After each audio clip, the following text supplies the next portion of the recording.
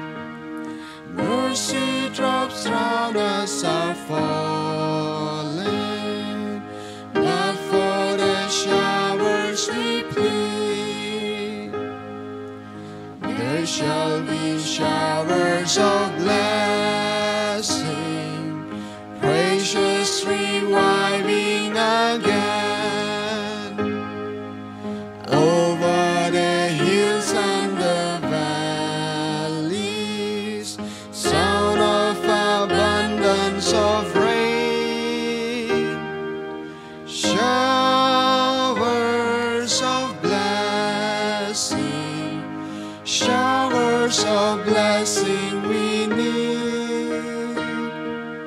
Mercy drops round us are falling, but for the showers we plead. There shall be showers of blessing, send them upon us,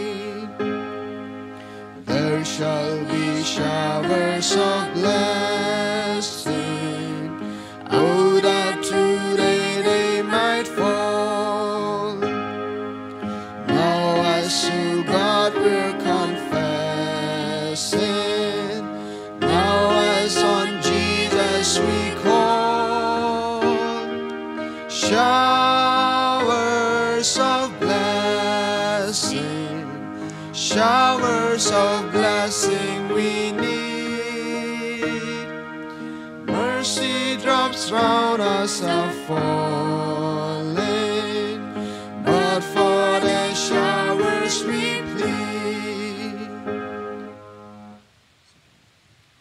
Uh, let's turn our SD hymnal to 306, Draw Me Nearer.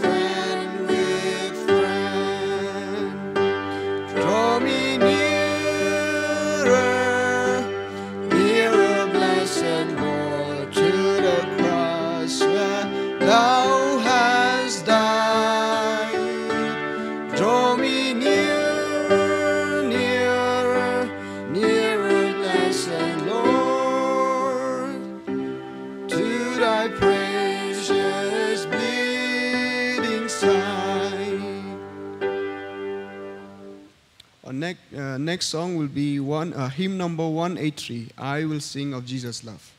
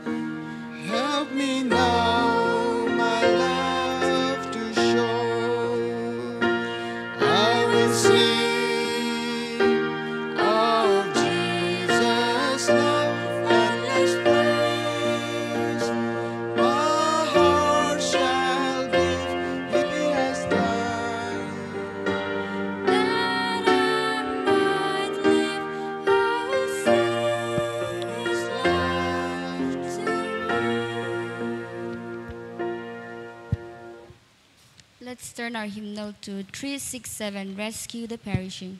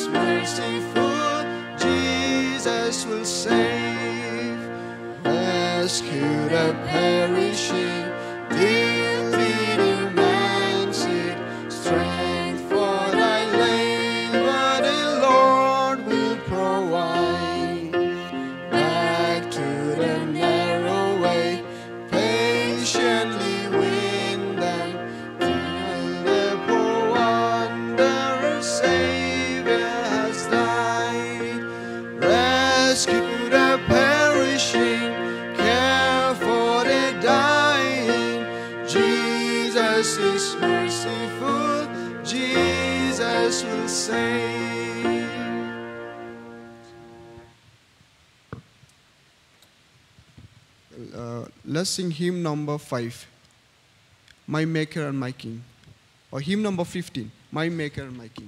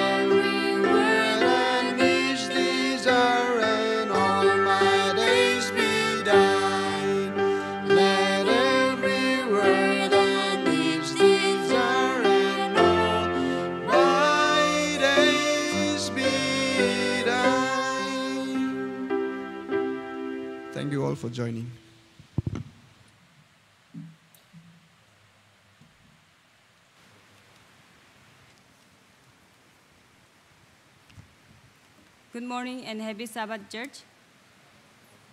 Exodus chapter 20, verse, 10, verse 8.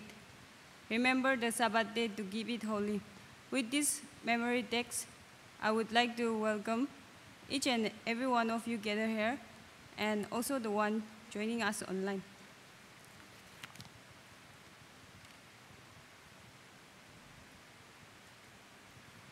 To begin our Sabbath school, let's all sing from hymnal uh, 388, don't forget the Sabbath.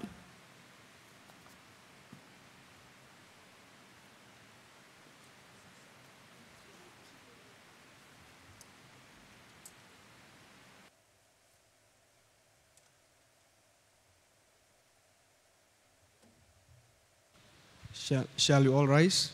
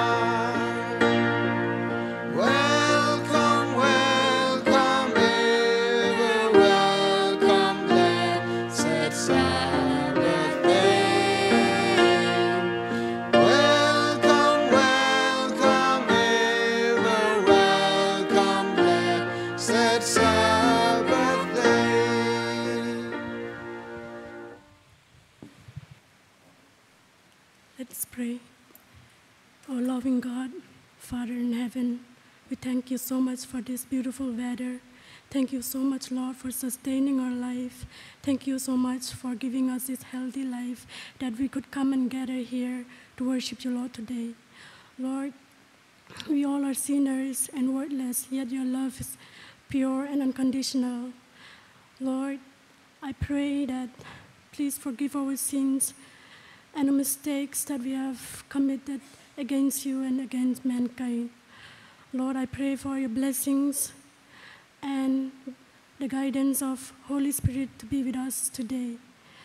Lord, I pray, please uh, let our praises and worship will be accepted at your, throne, at your throne of grace. Lord, for these few mercies I pray in Jesus' name. Amen.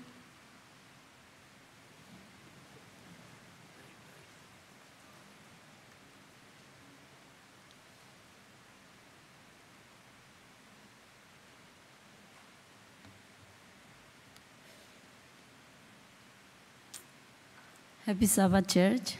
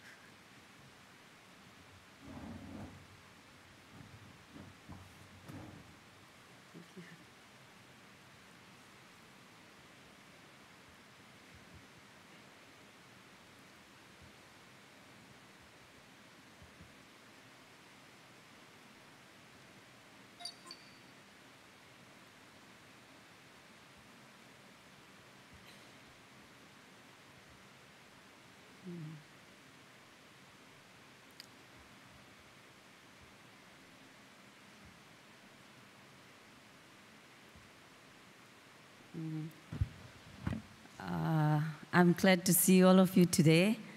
Uh, today, I want to share a little bit about Isaac kindness. When I go through this Genesis chapter 26, uh, Isaac really impressed me, especially his character. So I just want to share you about this one today. Mm. I will start reading with the first memory text. The Lord appeared to Isaac and said, Do not go down to Egypt. Live in the land where I will tell you to live. Stay in this land for a while, and I will be with you. For to you and to your descendants I will give you all these lands, and will confirm the oath I swore to your father Abraham. This is what God commanded Isaac. And then let's see uh, the next verse. This is uh, the previous one. Okay, okay, right, no problem. Mm.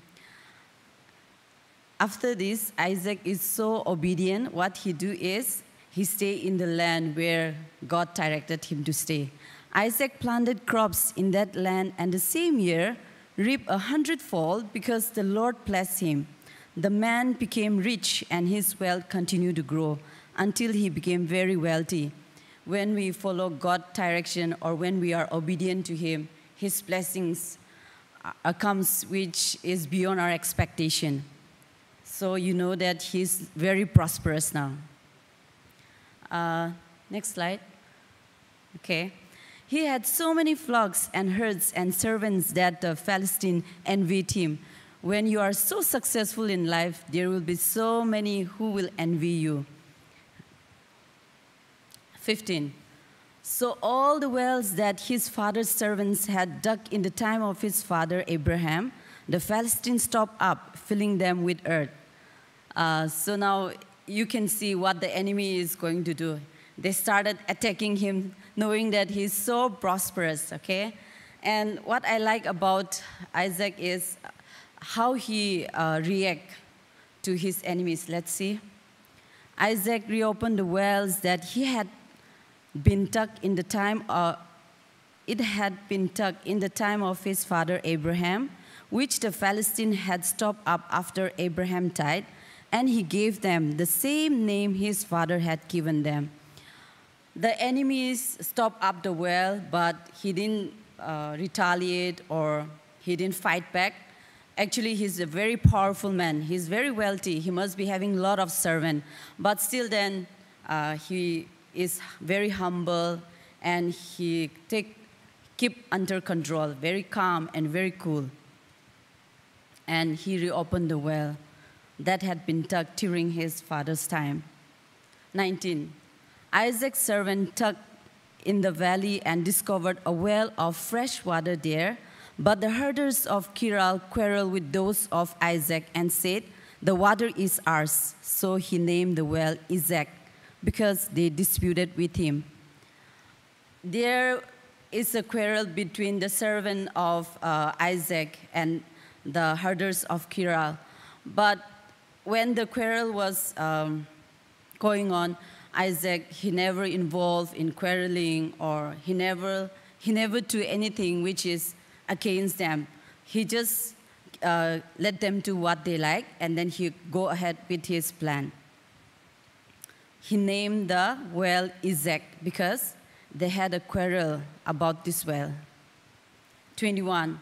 Then they dug another well, but they quarreled over that one also. So he named it Sitna. See, uh, continuously they are trying to get whatever they want so selfishly, but he just let them do what they want. This is what I really like about him. So I just want to share you with this one. Uh, if uh, somebody did something to us continuously, we are so frustrated and so annoying, uh, so irritating, but uh, I never come across anything in the verse that Isaac is angry or he's unkind to them. But he's so cool. This is what I really like about him. And then he moved on from there and dug another well, and no one quarreled over it. He named it Rehoboth, saying, Now the Lord has given us room, and he will flourish in the land.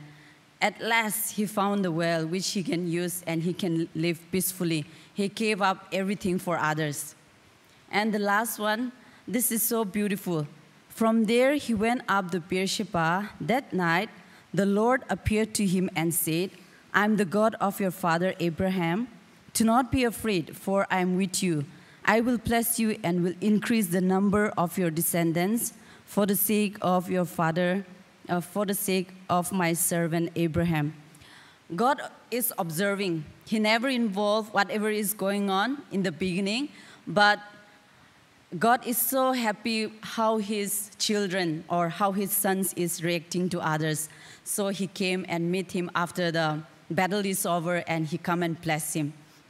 So I'm sure if we did the same thing at the end, uh, if we can stood firm uh, in faith, and if we can win the battle in good way, God will also did the same for us.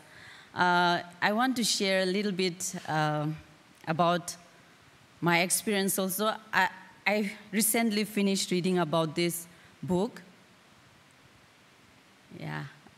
Uh, this is a story about um, Ben Carson. The title is Gifted Hands when I read this book, his story mesmerized me completely because he is so good. I thought that men like Isaac exists only in Bible, but even in our time, we still have a man like Isaac. Ben Carson, he really impressed me. I began to like him so much when I read his book. And now I really like even the African people because of him. His book is do good. So I just want to share you this one. And then um, I want to show you this one also. Yeah, this one. Uh, I have been. Uh, I had been in Thailand for a few years, and then uh, the Thai people. It it really astonished me. When I went to Thailand, the people are so kind, so humble, so helpful, so generous. I could not believe. They will smile. They are so gentle, so soft. I could not believe, really, I'm telling you from the core of my heart. Um, the first person I encountered, Thai, Thai people, she's the one. This is my boss. one of my friend helped me and she asked me to come and meet her boss so that she can interview me for my work. I went there. When I went to the office, I was waiting for her outside, and at last she called me to come inside. I was so nervous, so scared. I thought that there will be someone who will be so cold and so serious. When I on, entered the office, a beautiful woman, so young, and then she was smiling sweet, sweetly, and then she, the way she looked at me, the way she greet me, she instantly take my heart. So I, I used to think, oh, she is the boss of this big school, and how can she greet me like this? How can she treat me like this? I could not believe. When I start um, having an interview with her, I really like her. And then she, after the interview, she took me to the, to the classroom for demonstration and all. And after the interview was over, by God's grace, she took me in. I thank God for that. But what I want to say is that the way Thai people are, they are just too amazing. We are Christian, but we are not like this. They are most of them are Buddhist, but they are too good. You wouldn't believe. And after I came back to Thailand, I can see the difference. Uh, before, while I was in India, I thought that life is like this. This is just the way we are. But when I came back from Thailand, everybody seemed so rude, so unkind. Even me, I'm very unfriendly. I don't know how to make friends with others. It's not that I don't like them, but uh, I'm very timid, so it's difficult for me to make friends with others. And then after I returned here, I went to the office and meet some people. They will not even look at me the way they talk to me. They will not even smile. So I was thinking, oh, I'm back to the place or to the to where I belong, and this is so different. But I hope everybody knows this man, right? Yeah. When I entered Sir Prabhu office, the same atmosphere that I enjoy in Thailand, this in his office, I find that. He make me feel so good. He's so polite. The way he talked to me, so gentle, so helpful, so humble. So I said to sir, Oh, sir, you make me feel so good. You are so good to me. And then he said, You are my client. I was so surprised. Yes, uh, in Thailand, my students, they are my clients. So we worship them and we treat them like they are the king or the queen. That is how we treat them because they are so important to us. They are my client. But what I'm saying is that as a Christian, uh, even me, including me, all of us, let's try to be spotless, blameless, and be at peace with everyone. Thank you so much.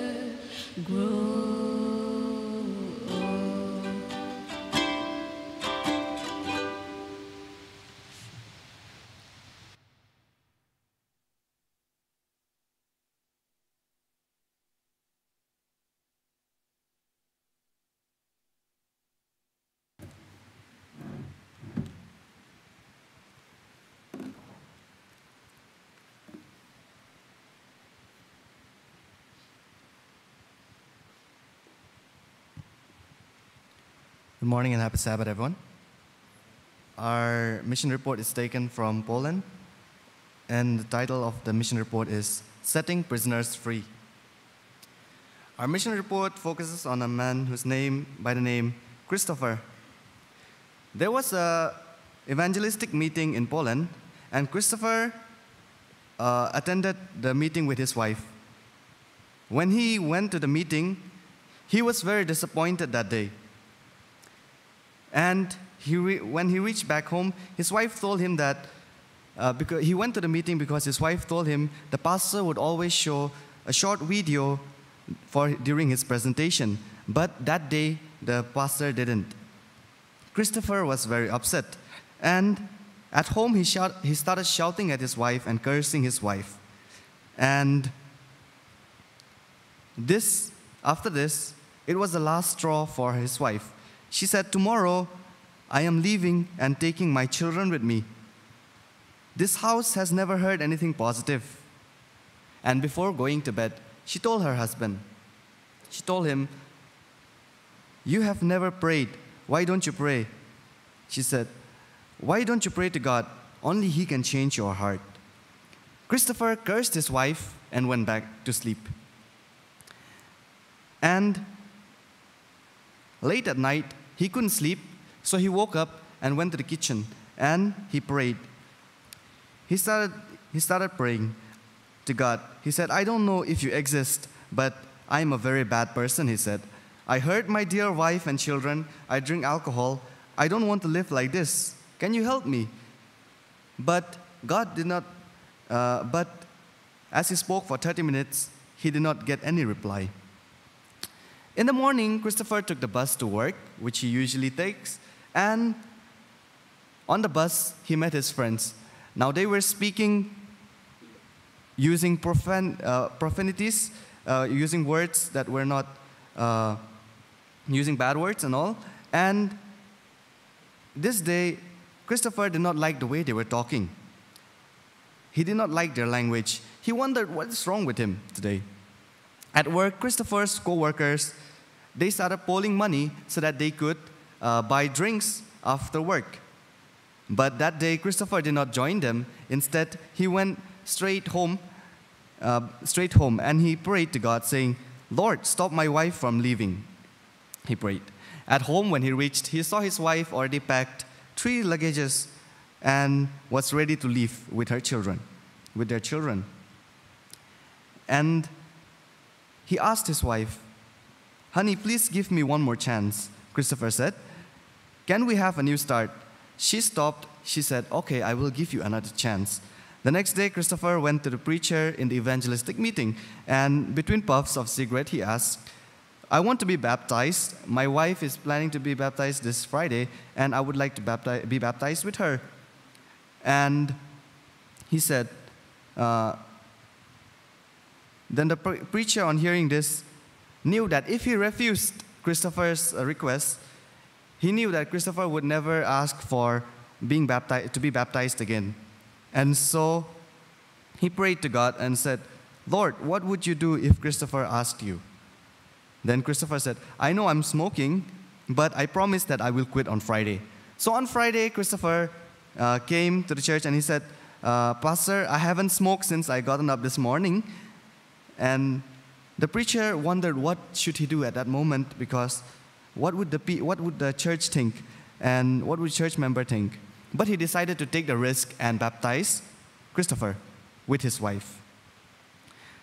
The preacher wondered what would happen next, but he didn't have to wait long, and not, not after long, Christopher confessed that he had gotten confessed that he had gotten trouble uh, with the law when he was a young man, and so he wanted to go and witness to the people, to the young men in prison.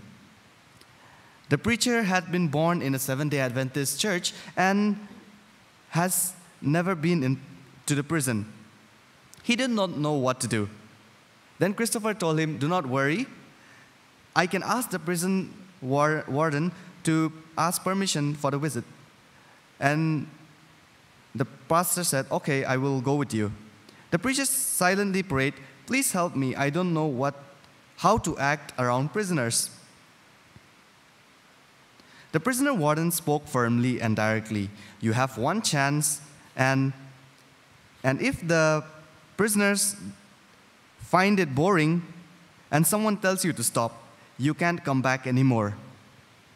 The preacher prayed even more. Now he was nervous, nervous and he prayed, Lord, this is a hard challenge, he said. Help me. On the day of the sermon, the young men wearing identical clothing came and filled the room. They looked bored, and, and so the, pastor, the preacher immediately changed his sermon. He said, Friends, he said, do you know why I'm here today? He pointed at Christopher, because this man was just like you. He was a, he was a bad teen. Christopher, can you come up? Christopher stood up. Friends, I understand you, he said. I lived here and wasn't the best teen. I have done some pretty bad things. I once tried to escape from this very prison. And look at this. He, he stretched his arms and pulled up his sleeves. And he showed them a scar on his hand, saying that he had tried to commit suicide as well. But thank God for saving his life. And he praised God for saving his life that day.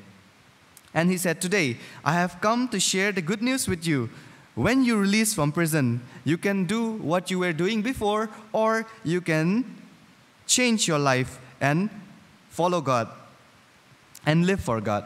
And he said, I invite you to choose God. After that day, Christopher and the preacher visited the prison many more times. And the Polish, Polish TV also, uh, television crew even followed them. And the young prisoners told the crew they were so thankful to the Seventh day Adventists for uh, visiting them. They brought Bibles to us. We even had the Bible, we had never had the Bible before. We are learning about Jesus' salvation, forgiveness, and the opportunity to start a new life. The prisoner's words filled Christopher and the, preachers with, and the preacher with joy. This was very important to us, says Richard Jankowski. God can give us a new life. I don't, it doesn't matter what you have done. God gave Christopher a new life, and he can give you a new life too. Thank you for the 13th Sabbath offering in 2017 that helped build a television studio for Hope Channel Poland. The preacher in this story, Richard Jan, Jankowski, is today the president of the Seventh day Adventist Church in Poland and is the regular speaker on Hope Channel Poland, the local affiliate of Hope Channel International.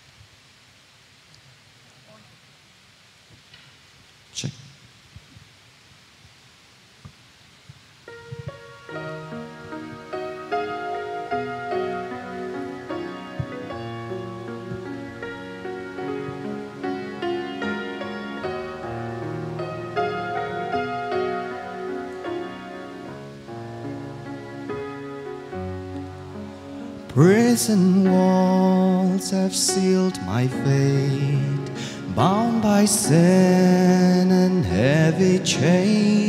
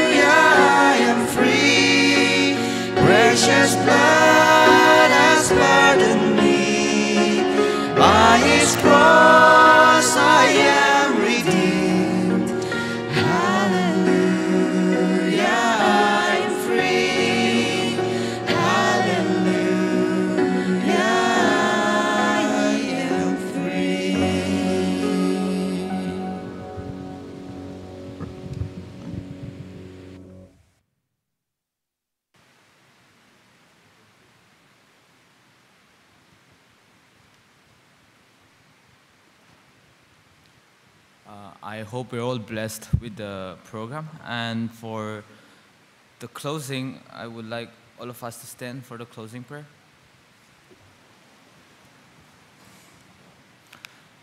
Shall we pray?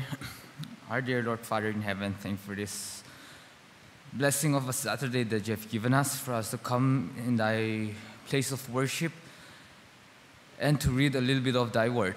We thank you, Lord, for uh, this opportunity that you have given us to bless thee and to praise thee. We thank you, Lord, for the guidance that you have given us throughout the past weeks. Thank you, Lord, for that.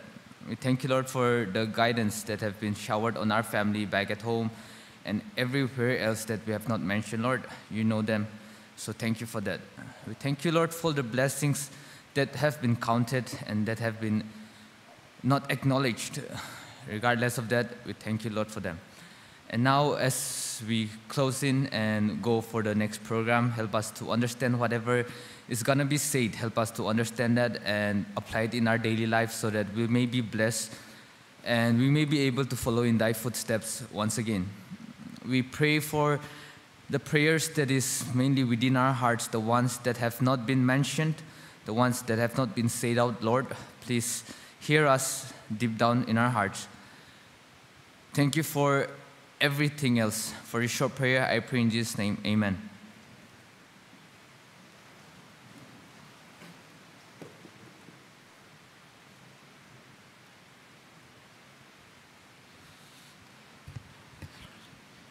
On behalf of the Sabbath School Department, I would like to thank uh, uh, today's program was taken by the BEd department students. I hope we all are blessed through these programs. Now we can disperse for the, our lesson study classes. Have a wonderful Sabbath.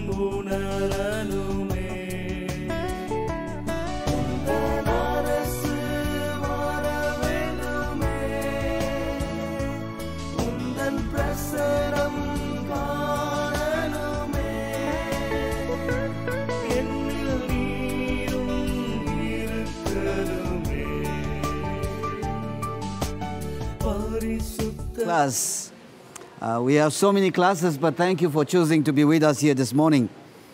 We are in lesson number eight, and it's entitled as Christ Shaped Lives and Spirit Inspired Speech.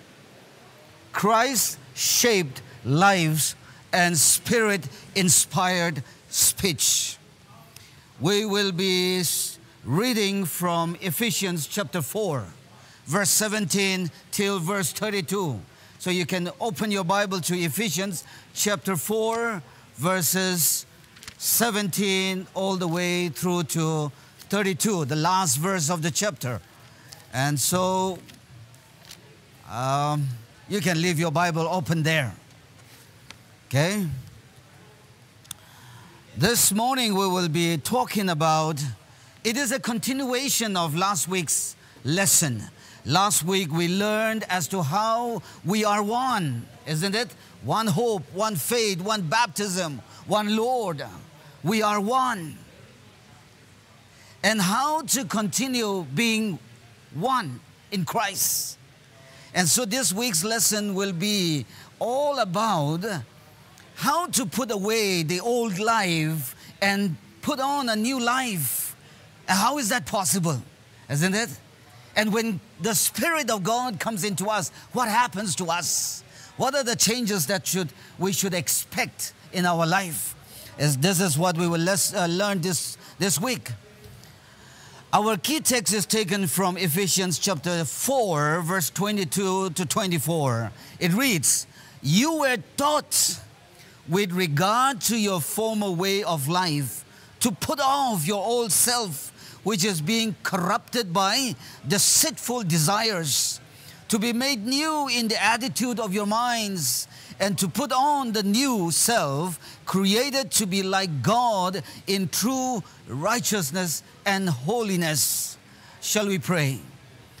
Gracious Father in heaven, we thank you for this lesson as we open your word and go through the verses of Ephesians chapter 4, verse 17, all through to th- 32. We pray that you will fill us with your spirit and help us to understand. For we pray this in Jesus' name. Amen.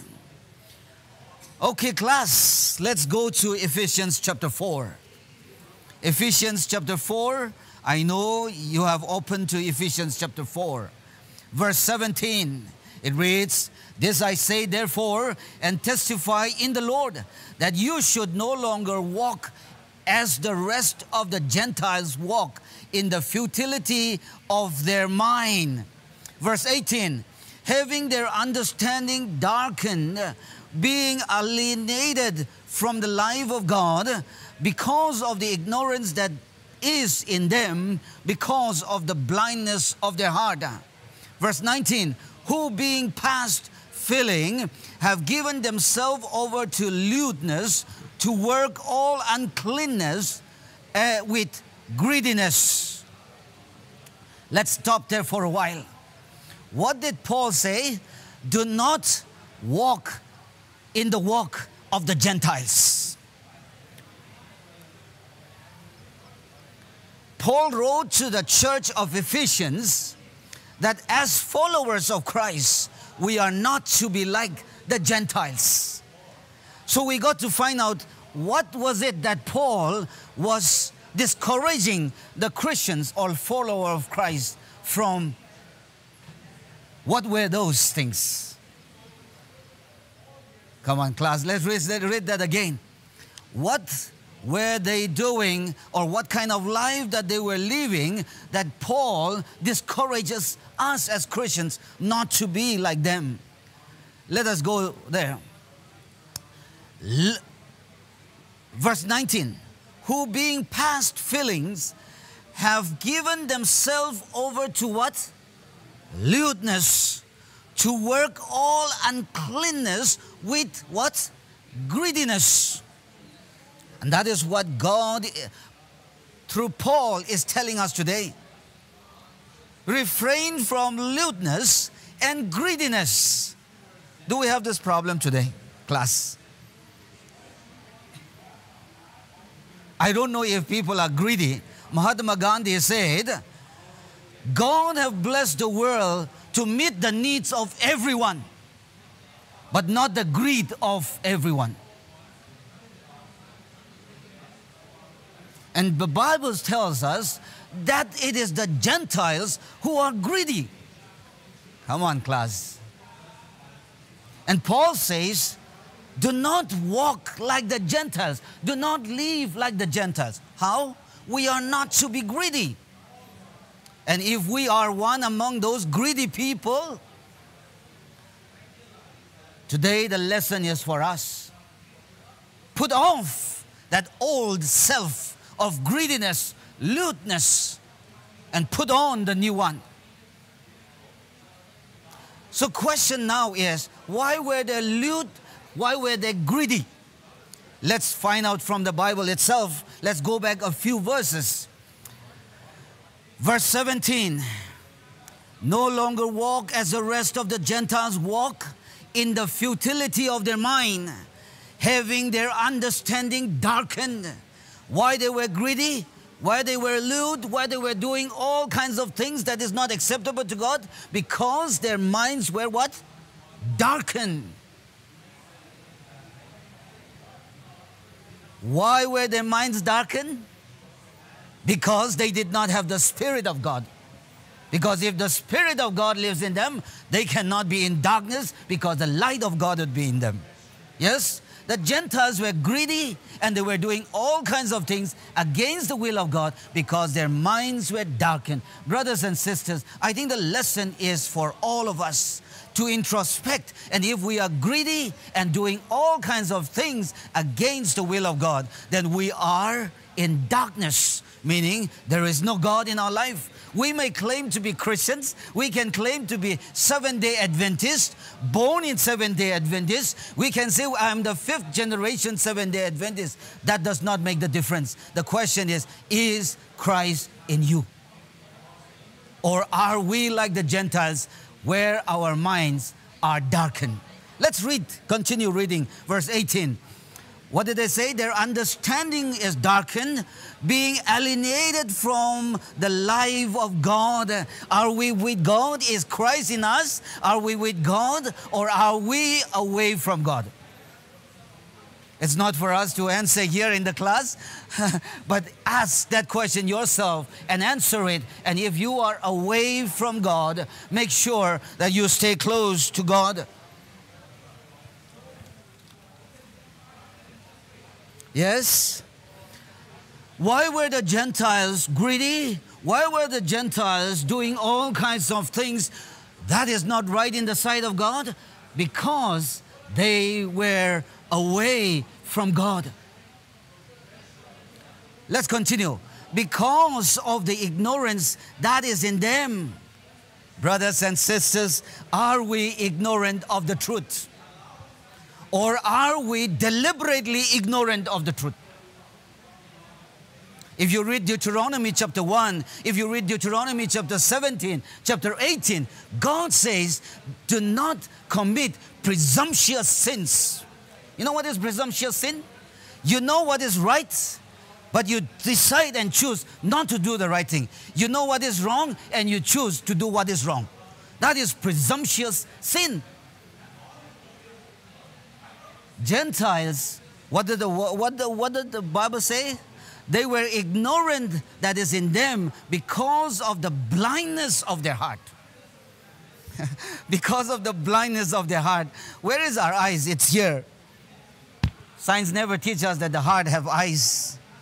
But the Bible says, because of the blindness of, your, of their heart. Come on, class. Are we blind? Jesus said, the blind leading the blind. Yes? Not knowing the truth, but leading people. Isn't it? Yes. Not understanding, but the world seemed to follow. How is that? How is that? Is it not because of the ignorant, the blindness of the heart? Is it not because their understanding is darkened? Is it not because they are away from God? How can we not identify what is false? Because we do not know the truth. How can we not know what is not right? Because we are not close with God. Simple as that. You can never identify the truth by knowing the falsehood. But you can know the falsehood, the duplicate, once you know the original. You see this? Yes. You got to taste the original to know what is not. But if you choose to continue to live in that fake, duplicate life, you will never taste and know the original. And the original is always the truth, and that is God. Come on, class.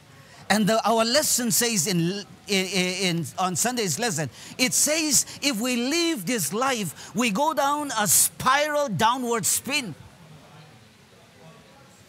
When we deliberately choose to do what is wrong, we choose to, to, to, to blind ourselves from the truth, to stay away from God. Our lesson says we go into a spiral spin downward in sin, in a state of hopelessness. You see, class? Amazing. Let's continue. Anybody have a contribution to make? Please feel free to share. This is a class. Yeah? Let's continue. Verse 20. But you have not so learned Christ. Come on, class, here. What did Paul say? You have not learned Christ. You have not so learned Christ. I'm glad Paul did not write here, but you have not so learned about Christ. I am so glad that he did not use the word about Christ.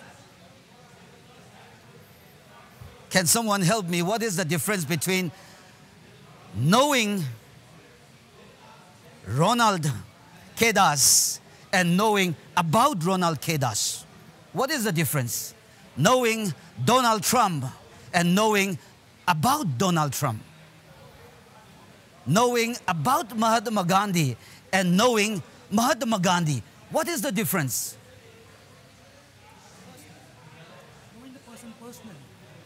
You know that person personally, and that is knowing so and so. Am I right? But I can also know a lot about somebody, but never have a personal relationship. You see this?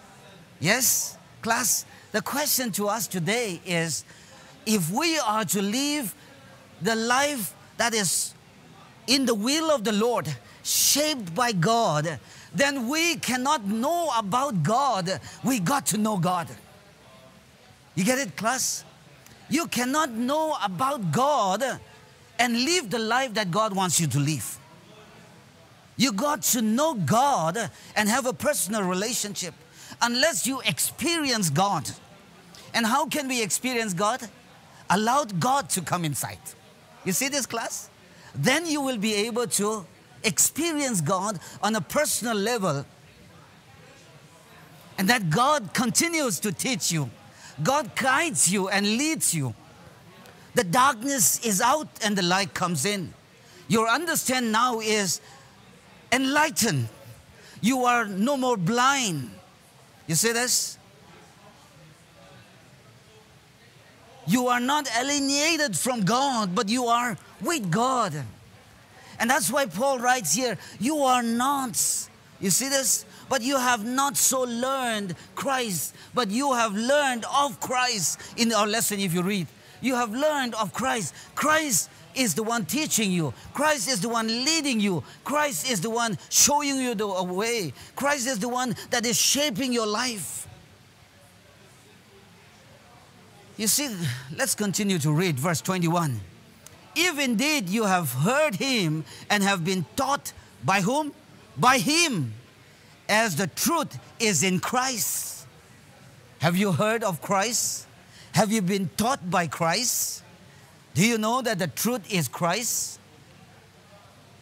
And do you let God be in you?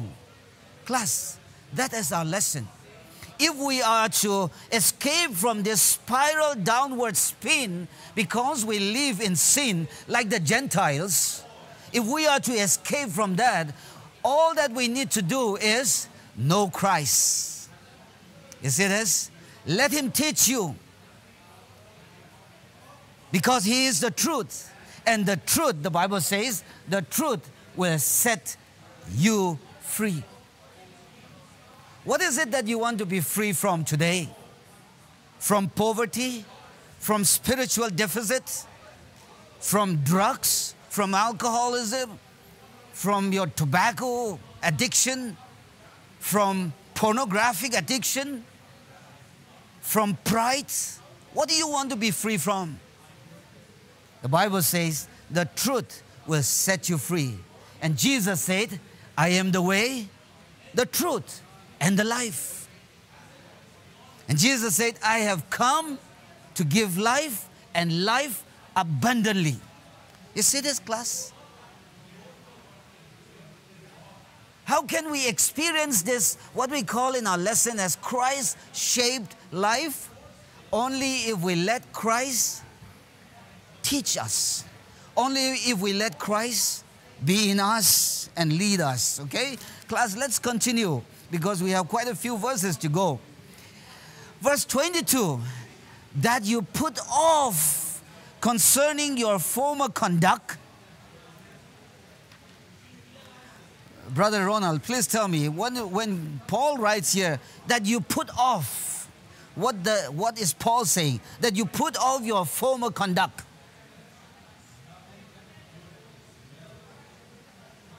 What does it mean by put off your former conduct?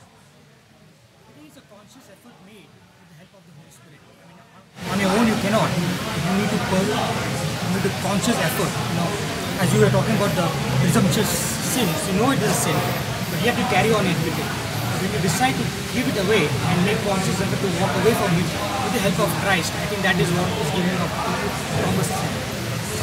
All right. Let's finish that. Thank you so much. Yes, you make a conscious effort, conscious decision to put off. And what is this put off? What is it that Paul is advising us to put off? Let's read that verse 22. That you put off concerning your former conduct, your former lifestyle, the old man which grows corrupt according to the deceitful lust. Last Sabbath we learned about what is the lust of the flesh. You see? And Paul is telling, you got to put it off. This old, the old man, put it off.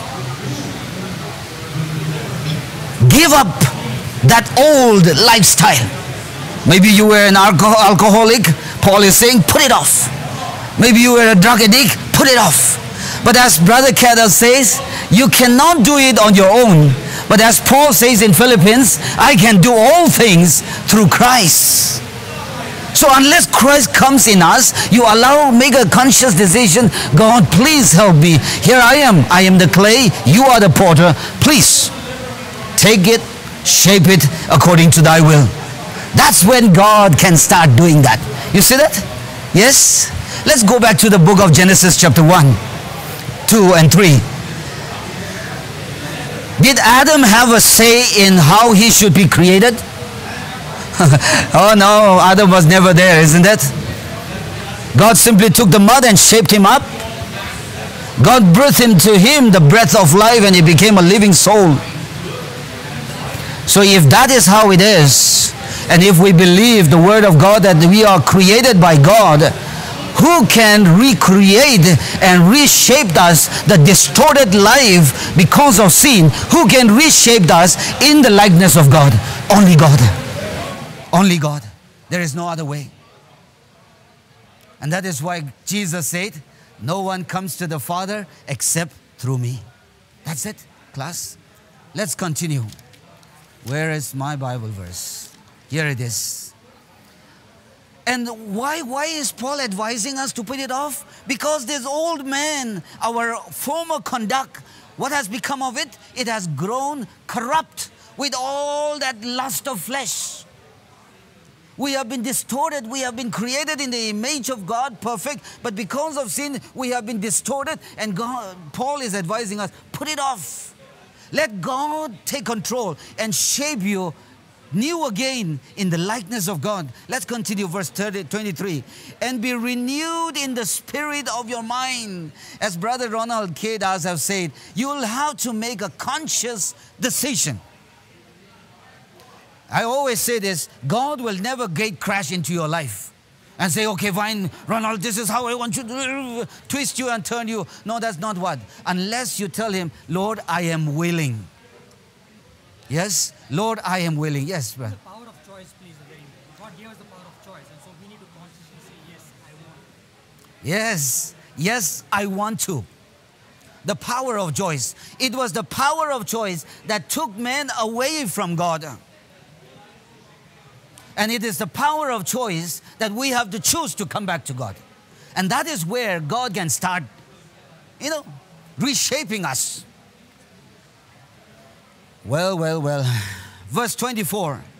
And that you put on the new man which was created according to God in true righteousness and holiness. Unless you put away the old, God cannot put the new to you, on you. Yes? And that's why God says in the Bible, I will take this stony heart from you and throw it so far away, and then I will give you a fleshy heart. Who can do that? Only God. Unless we are willing to, unless we make a deliberate, conscious choice to put away the old, God cannot put on the new one. You see this? You remember the story of Bartimaeus, the blind man? In the city of Jericho? On his on Jesus' last leg of his ministry on earth, he was passing through the city of Jericho, and there was a blind man by the name Bartimaeus. When Bartimaeus heard that Jesus was passing by, what did he do? He said, Son of David, have mercy on me. Somebody say, Shut up, you blind, dirty fellow. But he shouted more. That's what the Bible says. Son of David, have mercy on me. And they told him to keep quiet. But he shouted even more. And Jesus stopped. You know what? You read that story. Jesus told the blind Bartimaeus, Come here. You read that story.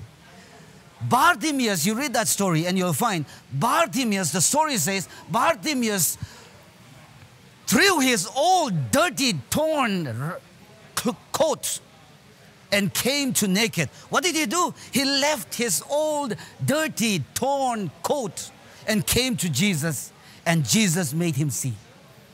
You get it? When we come to Christ, we have to make that choice to leave that corrupted life, that old self, and come to Christ to make us anew again. Yes, you, you, I don't think we can ever forget the story of Naaman. What did Naaman do? He was a leper, am I right? He came to Elisha, and Elijah didn't even go come out to, at the door and meet him, and he was furious about it, isn't it? Here comes the great commander from Syria, and he doesn't come even to the door. He said, Forget it, man, let's go home. Yeah, am I right? You read the story and you find that. That old self of pride, ego. You see this? And this is what God wants us to put away. Naaman had that ego. And his soldier had to take a needle and puncture that ego. And his soldier servants came and said, Master, if the prophet of God had asked you to do great things, would you not have done it? This is a small little thing, why don't you do it? You know, that servant had to take that needle and and the ego, when the ego goes away, he goes to River Jordan. you see this? It's not God who loses out when we disobey. But we are the one who are blessed when we obey. And so he goes to the river Jordan and he goes down one, two, three, four, five. Nothing has changed. Yes, six, nothing changed. How many times did Elisha tell him to do? Seven times. Seven time comes up, the Bible says, his skin became new like the skin of a baby. That's what the Bible says. How can we put on this new? Obey God. Let God take control of your life. We can never do away with that corrupted, lustful life unless we make a deliberate, conscious choice to let God teach us, enlighten us, and reshape us uh, to the life that He wants us to live. All right, let's, let's move on to verse 25. Therefore, putting away lying. Don't raise your hand, but let me just ask the question. How many of you have never told a lie in your life? As I said, don't raise your hand. Because I may be tempted to believe everything you say the next time. What is that one old thing that Paul is advising us, God is advising us to put away?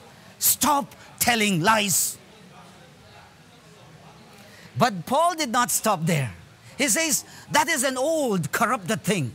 Stop telling lies, and then what? Let's read that. Paul, I'm glad Paul did not say, stop telling lies and start telling greater lies. You read that, verse 25. Therefore, putting away lying, let each one of you speak truth with his neighbor, for we are members of one another. Stop telling lies. But the Bible does not advise us to stop there. Stop telling lies and start speaking the truth. You see that? You want to be a good man? You want to live life that is shaped by God? Start speaking the truth. You see that? Yes? I always remember this word of Dr. Vara Prasad here. He said, Not doing bad things does not make you good. Just refraining from bad things is, is not a qualification or a qualifying mark of a good man unless you start doing good. It's good not to tell lies, but it is even better to start speaking the truth. You see that?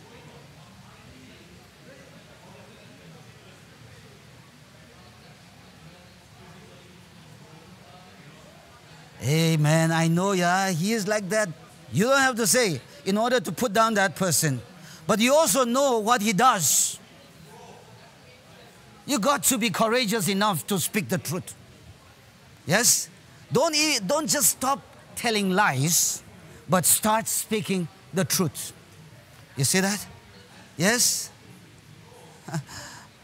You read the Bible, and you will always find people who speak the truth are always victorious. It may take time, but are always victorious. Okay, so what is the old man that we have to put off? That lying. Hmm? Stop telling lies. What is the good man? Start speaking the truth. Let's continue, verse 25. 26. Be angry and do not sin. Do not let the sun go down on your anger or your wrath. Oh, come on, class. Is getting angry sin?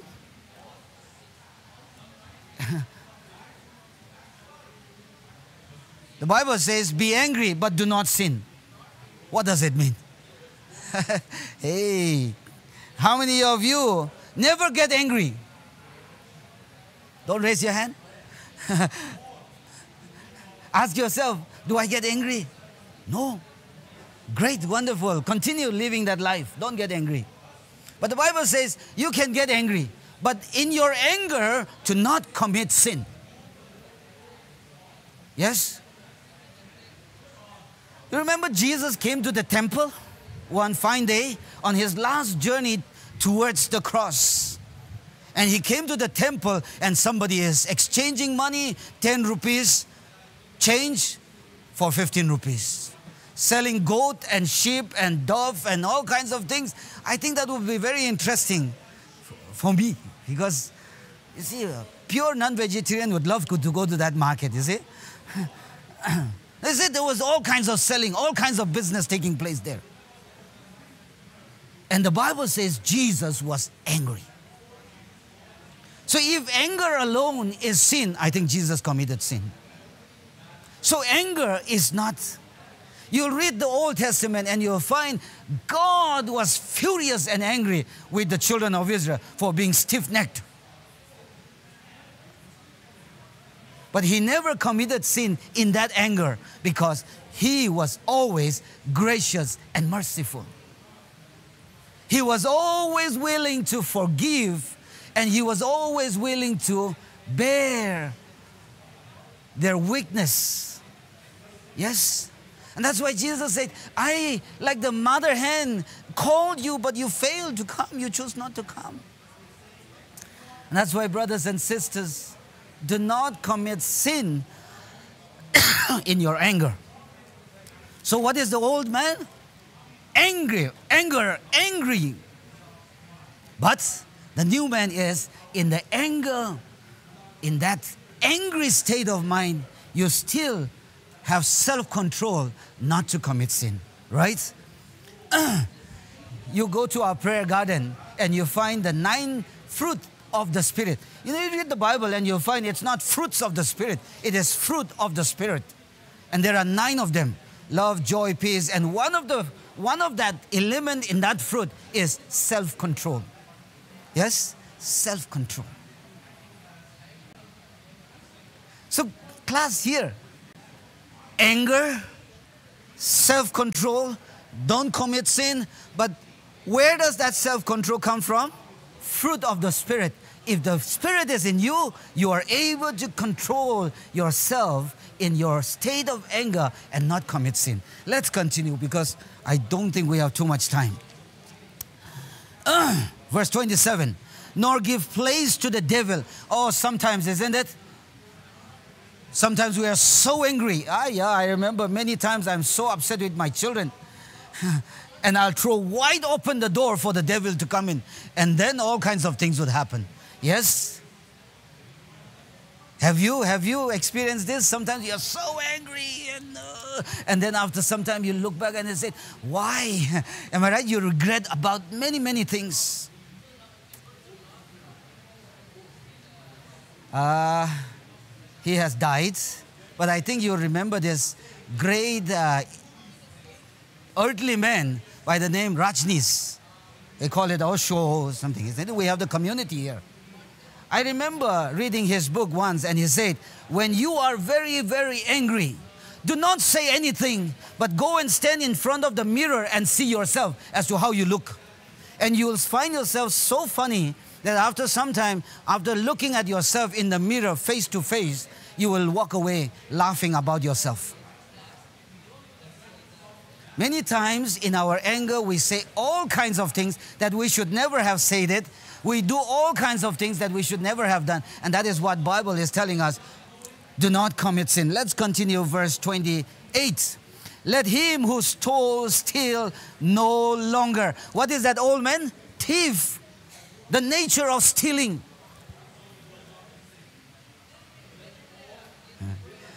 When I was growing up, I got a lot of pat pat from our, my parents because when they were gone to field, we would go to the chicken coop, climb to that place wherever the chicken have sung a song, sat for a while, and then sung a song and left. You know what it means? The chicken will sing a song before they lay egg, and then when they have laid egg, they will sing a song telling the world, I have laid an egg, bye bye. And they will go out to eat food. And that's where we will climb, take the egg, and drink it. And I do not know how, but my parents know exactly how many eggs are supposed to be in that particular place. In the evening, they find one less, and they know exactly who picked it up. What is stealing? Taking something that is not yours without permission.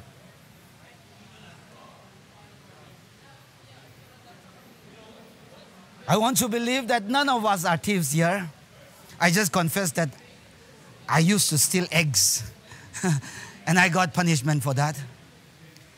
I don't know if we are stealing time. If you are in the office and you are supposed to be there from 8 to 12, and you are there 8 to 10 and 10 to 12, you are somewhere else. You are stealing time. Do you know that? Yes. You are in the office and you are using the printer to print your personal things. Do you know that you are stealing paper from the office? You are supposed to be in the class at 9 o'clock and you go at 9.15 and 15, 10 students are waiting for you for the last 15 minutes. Do you know that you have stolen 150 minutes of 15 people?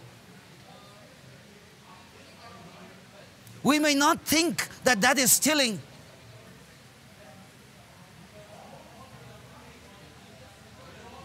We look at people who only take money which is not theirs, isn't it? Oh man, you know, I believe he took 15 lakhs. He's a big thief, man. Forgetting that we never go to class on time. Right? Yeah.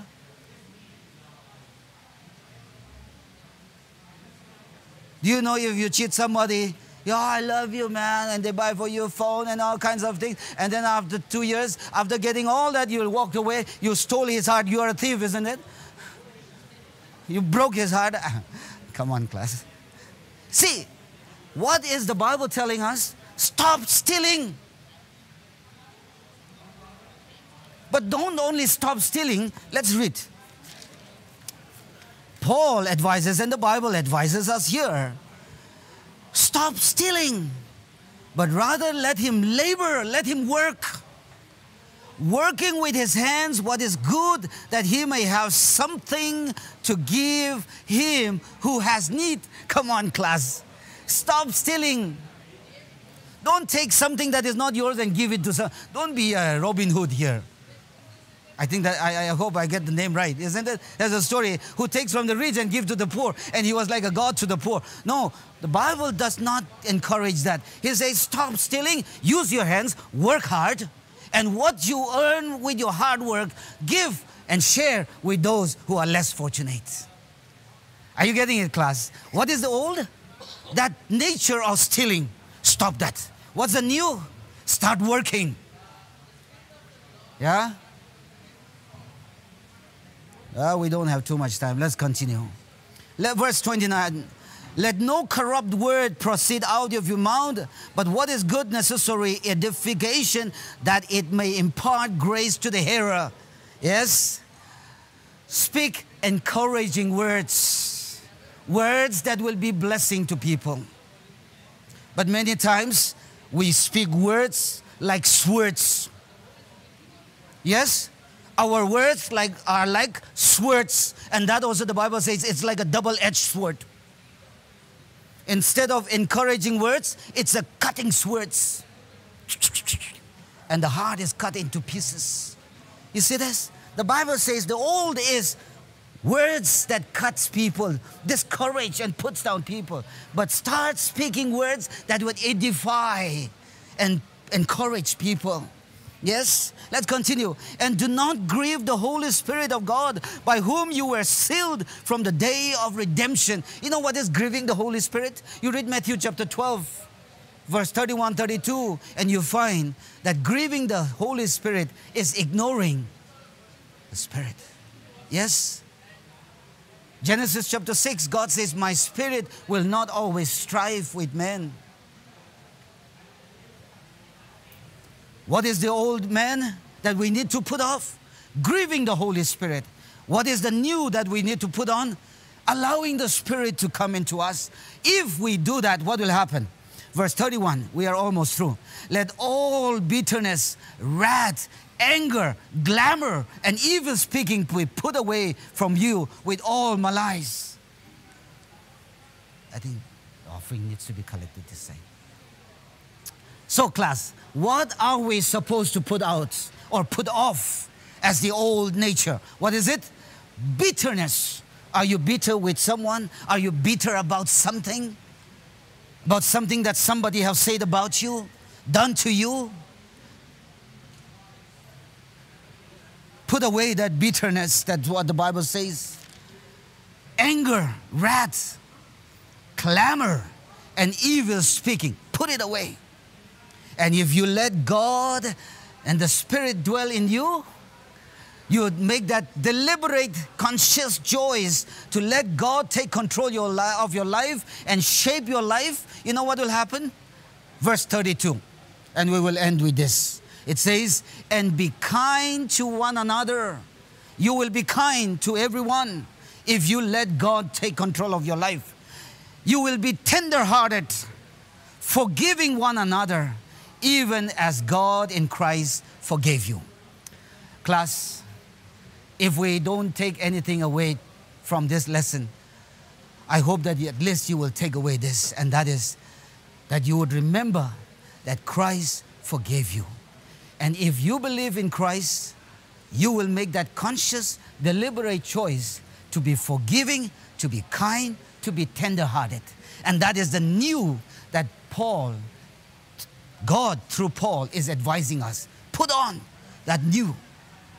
Yes, spirit filled life, spirit filled speech, spirit filled words of encouragement, rather than the old lying, blindness, stealing. Put it away. Wrath, anger, glamour, put it away. But put on that new sp- spirit filled life May that be our blessing as we go through our life and as we celebrate the Sabbath with God today. We'll close with a prayer, and Brother Ronald, can you kindly close us with a prayer? Father in heaven, we thank you for the Sabbath day. Lord, we are all sinners and falling short of your glory. We pray that you forgive us our sins and shortcomings.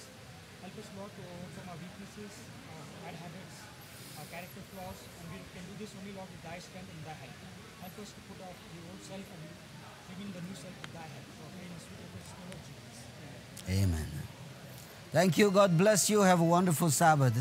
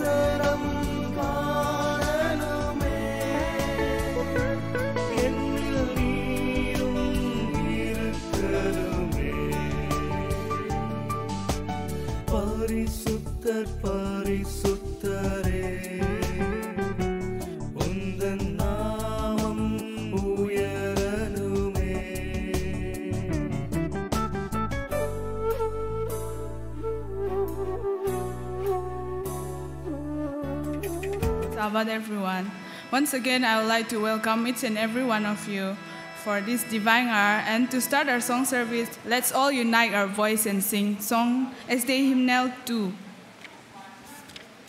SD Hymnal 2. All creatures of our God and King.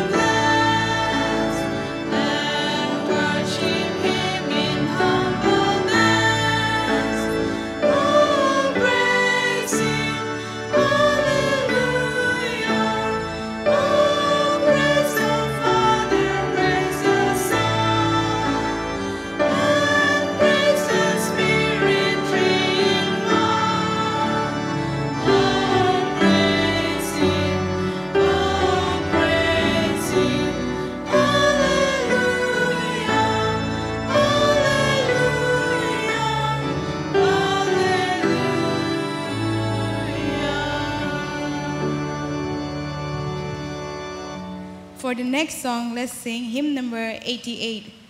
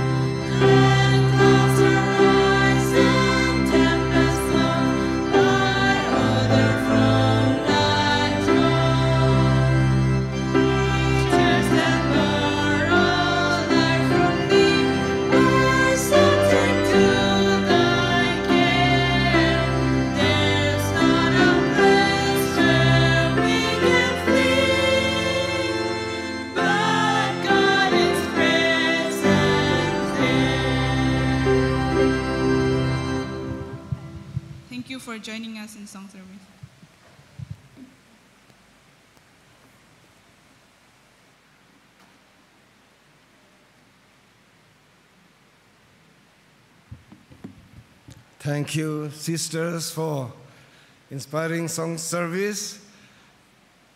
Good morning and a very happy Sabbath to each one of you. Spicer Church family would like to extend a very warm welcome to its regular church members and visitors who are present here, and also those who are joining our worship service online. A very, very special welcome goes out to our visitors and senior citizens who have joined us our worship service. This morning we are extremely happy because we are joined by Eden Schools family. They are our church member, but they stay very far from here. It is very hard for them to come very often. We are happy to see them today. You are present here with us enriches our worship experience, and we hope you find comfort and inspiration in this holy hour. Please feel free at home among us, and may this time of worship leaves you with cherished memories and renewed spirit. We gather together today with hearts full of gratitude and reverence to share in the joy of worship as we come together in this house of prayer to uplift our spiritual life, find solace, and connect with the divine power. Let us open our hearts and mind, leaving behind all the worries of the world and embracing a moment of spiritual nourishment. May our time of worship today be a source of inspiration, reflection, as we seek to grow in faith and understanding the Almighty. We would begin with our announcement. Our monthly fasting and prayer session will be held this Sabbath afternoon. Those who wish to join us, kindly stay behind after the service is over. The beautiful flower that adorn our church this Sabbath are contribution from Mr. and Mrs. Surin Sodimela in thankfulness to the Lord for the past eight years of marital bliss. May the Lord bless them with many years of togetherness in their life. The Division of Religious Study has organized a Sabbath afternoon forum entitled, What If I Am Neither Peter nor Paul? Okay, this is a very interesting topic. E- what if I am not neither Peter nor Paul? Encouraging early church mission in the Acts, chapter 4 to chapter 15. This will be present to us by Dr. David Van Langhak Asilo. He is ex-Spicerian. He graduated from here. And we will be having this through Zoom meeting at 3 p.m.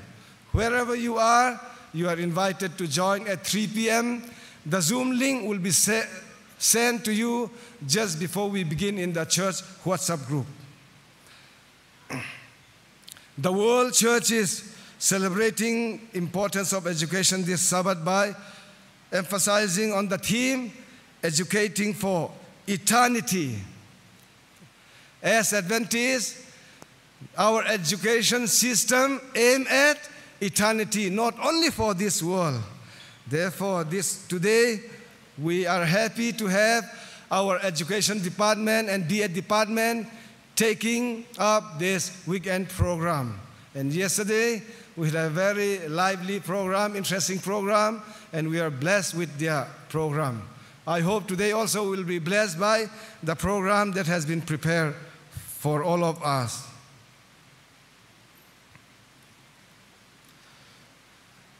Uh, Sabbath afternoon appointment, baptismal class will meet at 4 p.m. in the house of prayer.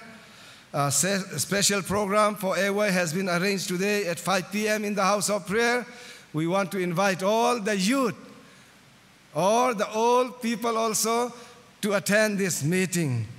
And Pathfinder Club will meet at 3 p.m. in the main auditorium. All those who have joined and those who are planning to join Pathfinder, please assemble in the main auditorium at 3 p.m. today. And the, the women ministry will meet at 4 p.m.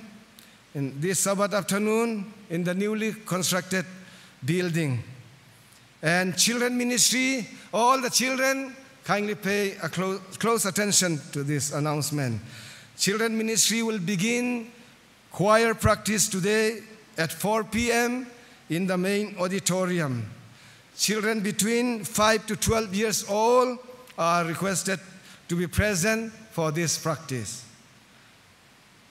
We would like to announce the prayer request we have. Kindly pray for Mr. James Howkeep and his siblings and their family as they grieve the loss of their eldest sister.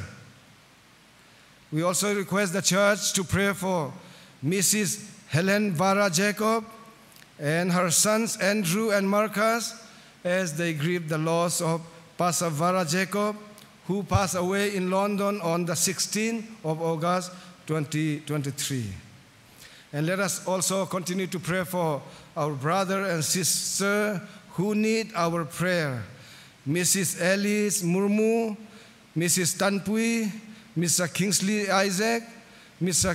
Karan Palmasi, Mrs. Anju, Mrs. Susan Robert, Mr. Malik Arjun, Mrs. Lila Narendra, Mrs. Saroja Tambi, Mrs. Manohari Matthew, Mr. Chimpong, and Mr. Suhas Salve and Mrs. Jill Child. We have lost and found announcement.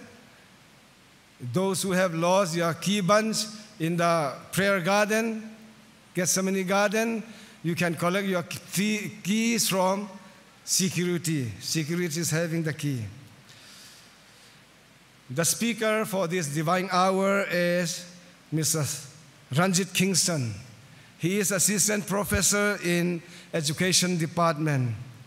I would like to invite you all to remember him in your silent prayers as he share messages to us from the word of the Lord. Our call to worship reading is taken from Psalm 105, verses 1 to 6. I'll be reading from New Living Translation.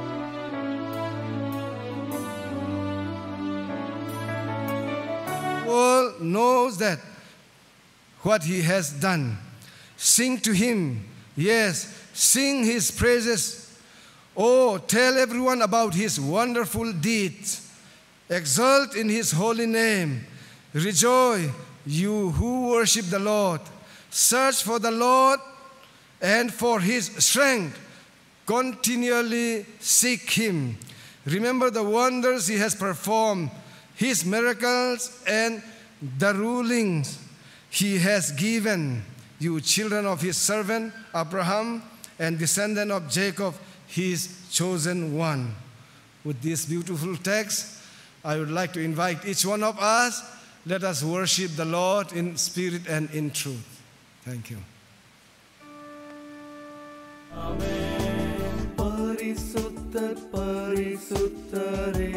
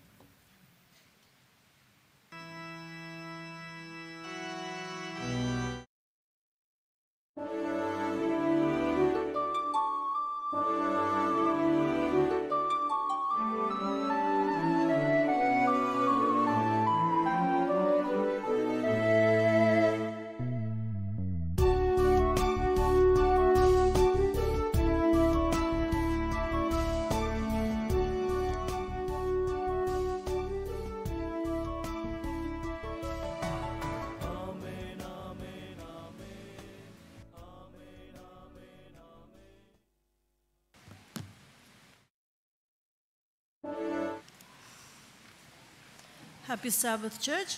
For our introit, we will sing hymn number 692 The Lord is in His Holy Temple.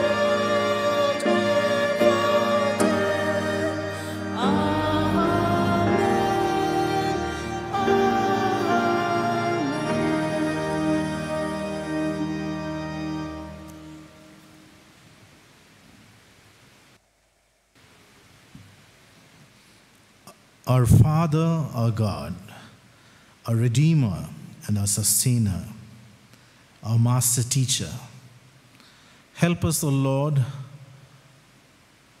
to be your children in everything that we do. Help us to bring honor and glory to your name. Guide us throughout this divine hour. In Jesus' name, amen.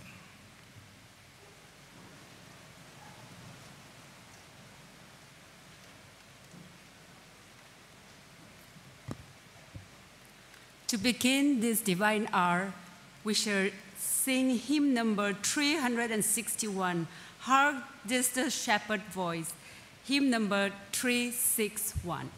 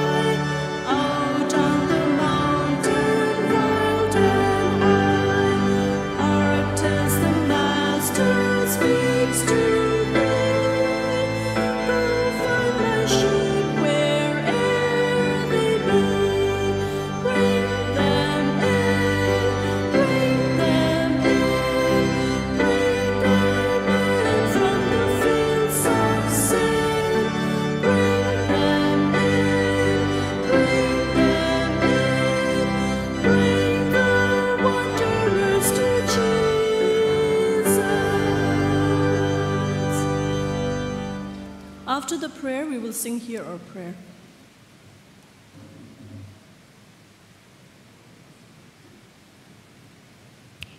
I request those of you who could kneel to kindly kneel with me in prayer.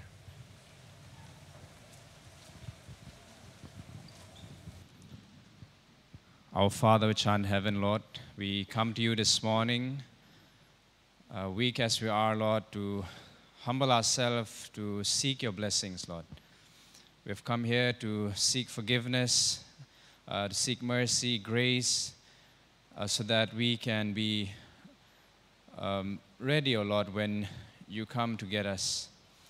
And Lord, this morning we want to thank you in a special way for the many things that you have done in our life.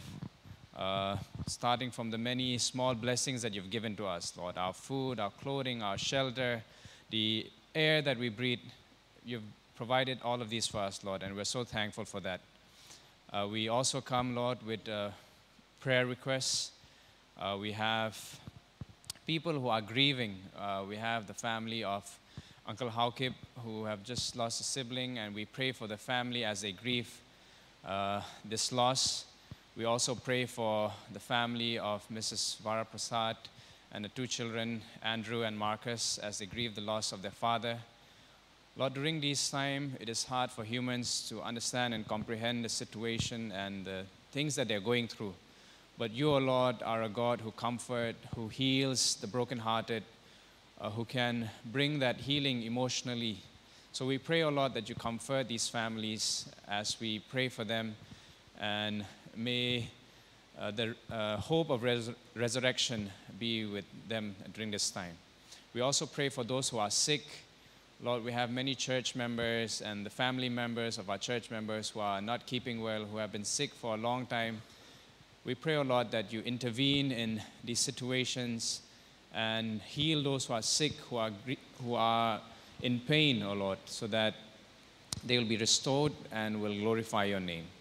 Lord, we pray for our worship this morning, uh, that you please accept our worship, be with the speaker as he delivers the message. May each and every one of us here be receptive to the message, and may this message help us to draw closer to you, O Lord.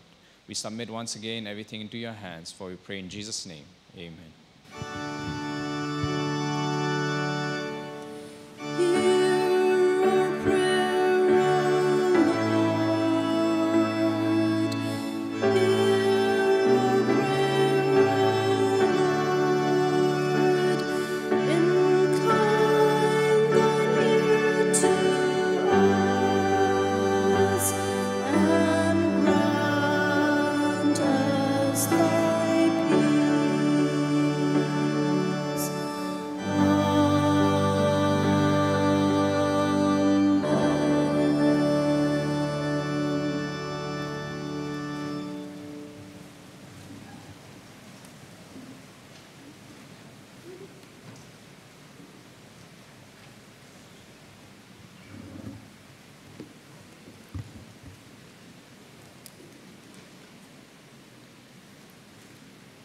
I want each one of you to turn your Bibles to the book of Malachi, chapter 3, verse 10.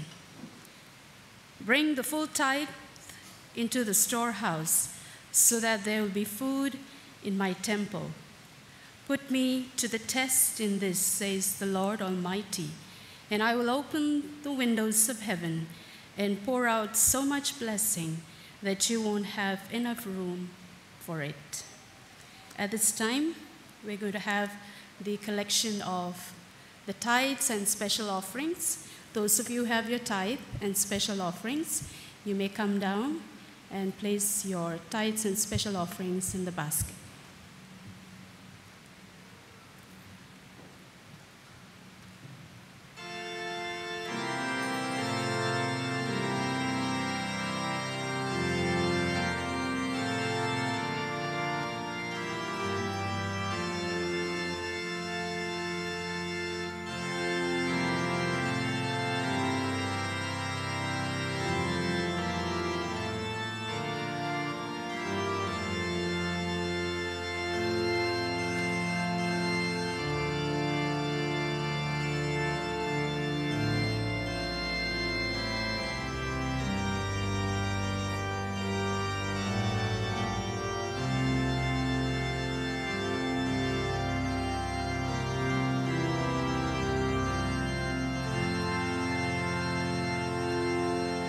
I will call upon the deacons to kindly come and collect the other offerings.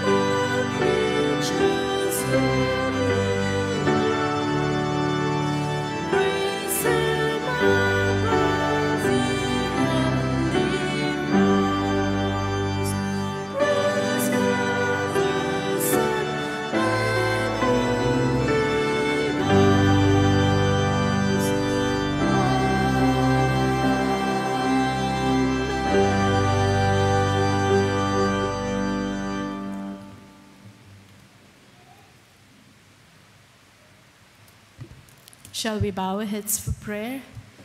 Father in heaven, we are thankful to you, Lord, for this beautiful Sabbath morning you have given to us. We thank you for the blessings that you have given to each one of us. Lord, at this time, as we return a portion of your blessing, we pray with your loving hands that you will bless this offering. Bless the ones who have given and the ones who could not be with them too. And Lord, as we enter the divine hour, may we learn to listen to you attentively. Thank you, Lord, for hearing and answering our prayers. And when you come back the second time, may we all be with you to live with you eternally. In Jesus' name we pray. Amen.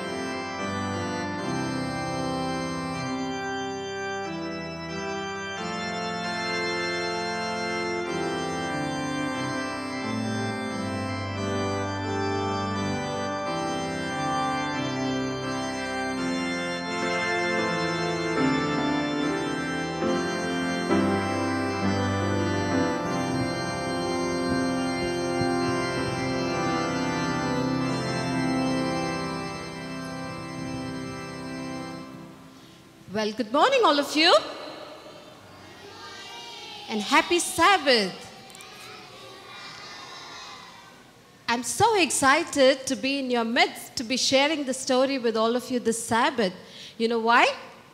I have a guest this morning who is going to be with me and helping me share this story. Can you all guess who it is, or can you look for it? Yes? I can hear him walking. Can you hear him walking? Yes? Yes? Can you? Yes?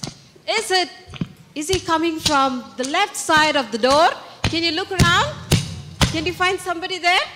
Hello, No. this is Prophet Elisha. Can you hear him? Yes! Oh Right my there. kids, hello. This Let's say Prophet hello. Elisha here. All of you say hello to Prophet Elijah.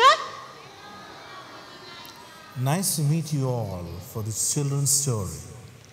Wow, we are so excited that he could join us for the story here. You know what? Prophet Elisha knows each one of you by your names.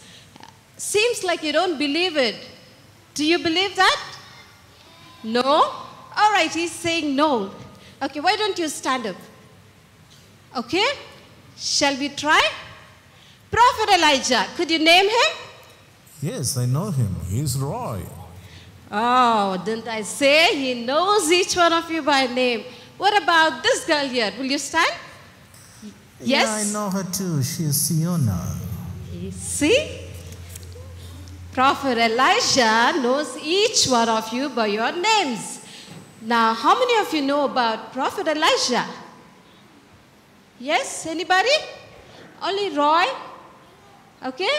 All right, we have two more here, okay? With Enoch. Well, today I will be sharing a story about Prophet Elijah, which is recorded in 2 Kings chapter 6, verse 1 to 7. All right? Long time ago, when Prophet Elisha lived in a place called Jordan, you know, he was a very good man. He always prayed and he was very righteous. He spread God's love to people around him. Therefore, there were many students who wanted to reside with Prophet Elijah. They spoke to him more about God. They went wherever Elijah went to pray and they resided with him.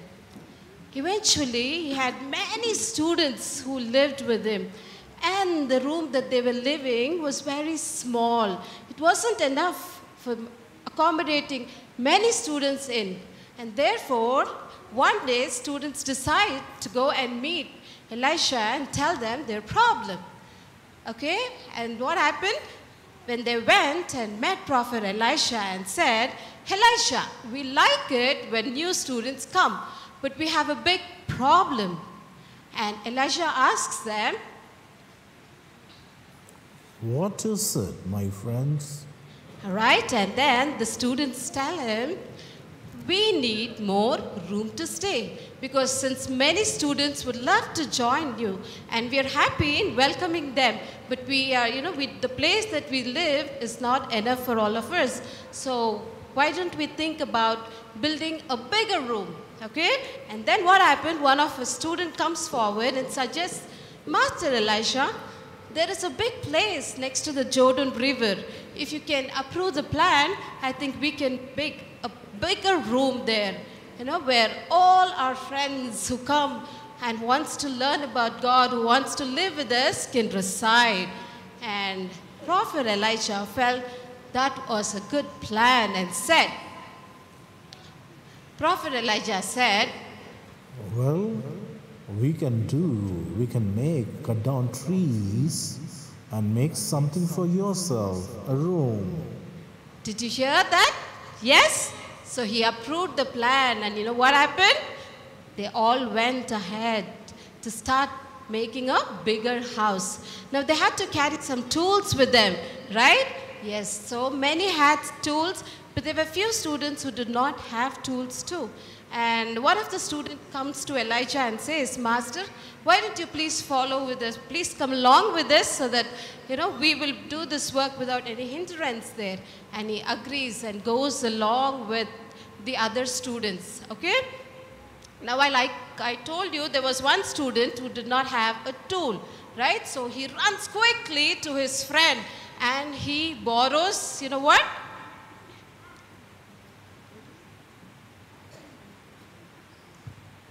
What is this? Can you see what is this? Axe, right? Yes, he borrows this axe and you know, and he also rushes along with the other friends and gets started with the work of building a bigger room. Okay, you can see how they were working, right? When they were working, accidentally what happened, you know? This, okay, this axe, which has a wooden, you know, wooden handle and an iron bar at top, you know, as he was cutting the tree, his axe fell into the water. Okay, the iron part was released from the wooden part and it fell into the water. And he started, you know, asking for help. He said, Elisha, please come and help me. I have borrowed this axe from my friend. Now I cannot tell him that I have lost this axe. Okay, and therefore Elisha comes forward and, you know, he looks at the boy who was crying and said to him, Show me the place where your axe had fallen. Okay? And the, boy, and the boy points out the place. Elisha cuts the stick and drops it into the water. And you know what? What happened? See what's happening? Yes, the axe came up. Okay, the axe was floating. Do you think is it possible if we drop an you know iron and we ask the iron to float, will it be possible? No, it, it will not be possible through us, right? But how did Elijah do that? How was he able to do it? Yes, Enoch has the answer right? It was a miracle. But let's ask Prophet Elisha his experience. How was Prophet Elijah able to do it? Well, I was able to do it not by my strength, but all because of God's grace. And God wants everyone to learn a lesson. Did you hear that? How was he able to do it? It was only because of God's grace, right? Okay, the thing that I want to learn from this miracle of Elisha is remember, God cares for every little thing that you do and He's concerned about what you are doing. Secondly, you should be more responsible in things that you borrow. You should be very careful of handling it and returning it back to the owner. Okay? And the third point, God has created all of you with a purpose. Right? Do you believe in that? Yes? Let me see those hands who believe that God has a purpose for you in this life. Yes? All of you? Yes. Okay? And one of the purpose is to help others when they are in need. Okay? In times of their need, you should volunteer to help them, just like how Prophet Elisha did. Right? And as small children here, maybe at times you cannot lend any material things. Okay? But what is that you can lend? All of you can give a big smile. Yes? Can you lend a big smile? Let me see all your smiles here. I want to see all your smiles. Yes? Yes. See, now that you have lended the smile to us, it is our duty to pay it back to you, right? Yes? So, as little children, you can do this great things. Okay? I hope you have learned the story of Elisha. Thank you so much for listening to the story. Now you may go back to your seats.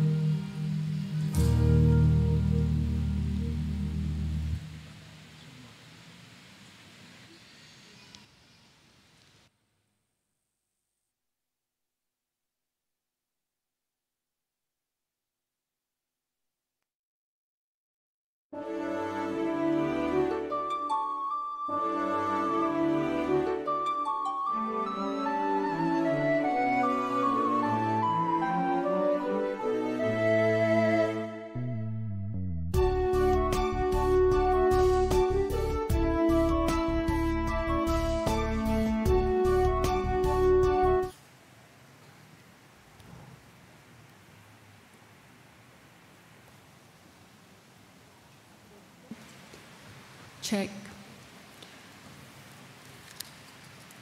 The scripture to ponder upon this in this divine hour is taken from 2 Kings chapter 6 verse 3.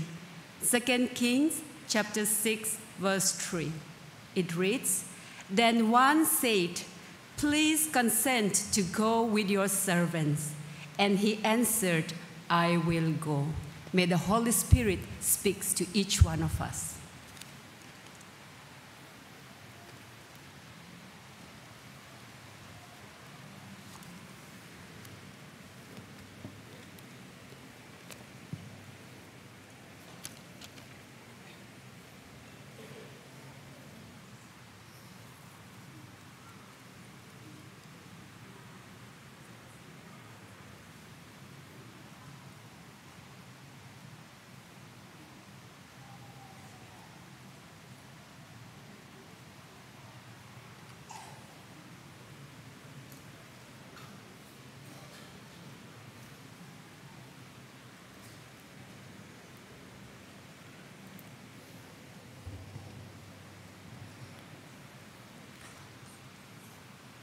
Praise be to the Father, the Son, and the Holy Ghost. Let his name be glorified as we spend some time in his midst. I would like to thank the pastoral team for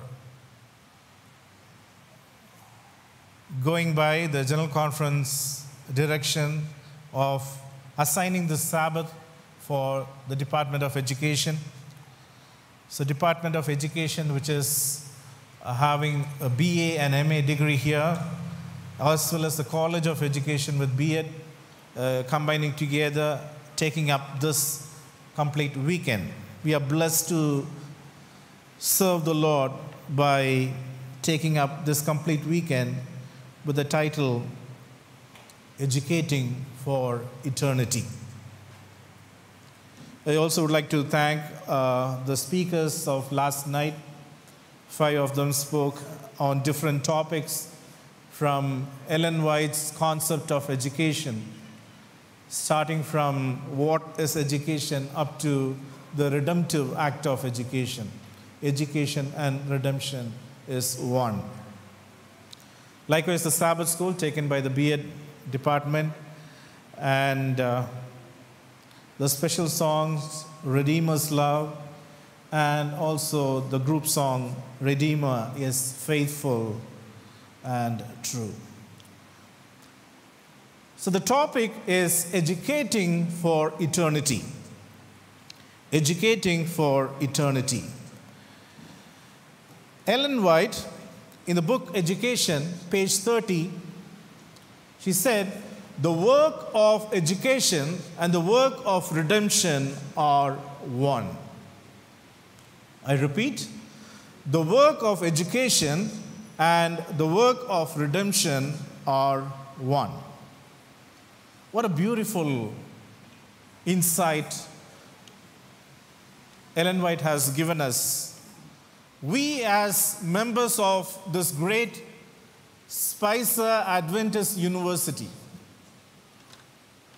being part of this educational system, though we may directly or indirectly involved in educating the people who come in here, it is not necessary that you need to be a teacher in the classroom. It's not necessary that you have to go to high school and teach.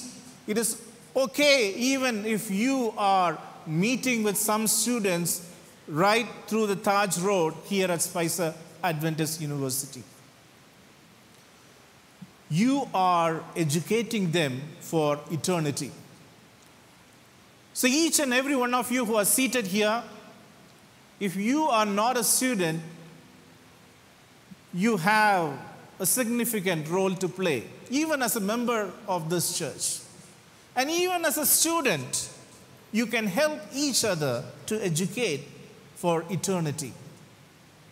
Today, I would like to give you some statistics on our education system as a small introduction. As you see over here, this is a statistics from all over the world. We have elementary schools, we have secondary schools, we have training schools, we have colleges and universities. And this is not the latest, but this is the latest available one. We put together, we have 19 lakh 34,810 students and 1 lakh 6,000 teachers. This is just a statistics of those who are registered and those who have been numbered by respective divisions. Unfortunately, uh, we need to work on in our division to have the statistics. I was looking for one which I couldn't get. According to the statistics, it says every year there are up to 40 to 45 or 50,000 baptisms in our education system. Baptism, not just for the sake of converting people, but helping our students to know our Savior and Lord Jesus Christ. The question is as Adventist educational institution, what is the role of each one of us who are seated here? Valuegenesis is a project which has been going on from the year 1983. I happened to meet with one of the researcher a few years ago and uh, beautiful insights were brought out and one of the quotes it says 81 of the 81% of the students they said attending an adventist school is the most important thing that has helped me develop my religious faith if i have to ask this question is it true or false it all depends upon you as a contributor towards building the faith of your student. If you say it is false, that means you have failed to do so. If you say it is true, that you are contributing to your student fraternity to know about the love of Jesus Christ. As an educator, it is important, it is significant for you to be revealing the love of Jesus Christ to your students. Shane Anderson, a famous writer, he became famous because of the book that he wrote, How to Kill Adventist Education. And this book was not a contradicting book, but it was a book which was sold in many numbers and many would like to know how to kill Adventist education, and he presented few points. And let me tell you in a gist what he said. He said, if you continue to teach and educate your students in Adventist educational system in the way you are doing now, very soon you can kill Adventist education. That's the gist. What does it mean? we have a downward trend of stepping away from the faith. The trend is going down and down. Every day we are going away from presenting the love of Jesus to our students. Many times people think it is the work of the Bible teacher. Sorry, my friends, it's not true. It is the work of every individual who happen to meet with someone and give them something to learn or to educate them. It is your role and my role. But do not worry, Isaiah chapter 54, verse 13, it says, All your children shall be taught by God, and great shall be the peace of your children. What an assurance our Lord gives us today. Though we may fail as Adventist educators, but the Lord gives us a promise that I will take care of your children. Let us have peace among ourselves. Before we move any further, Isaiah chapter 1, verse 18 19 says, Come now and let us reason together, said the Lord. Though your sins be as scarlet, make it white as snow. The Lord is asking each one of us to come together and reason together. And Jeremiah chapter 1, verse 9 says, Then the Lord put forth his hand and touched my mouth, and the Lord said unto me, Behold, I have put my words into yours, your mouth. Today, as we move forward in this divine hour, let me hide myself behind the cross so that you and me can listen to the word of God. Let us pray and continue to pray for me. Dear Father in heaven, many a times we tend to think about what we can do with our own ability and with our own strength.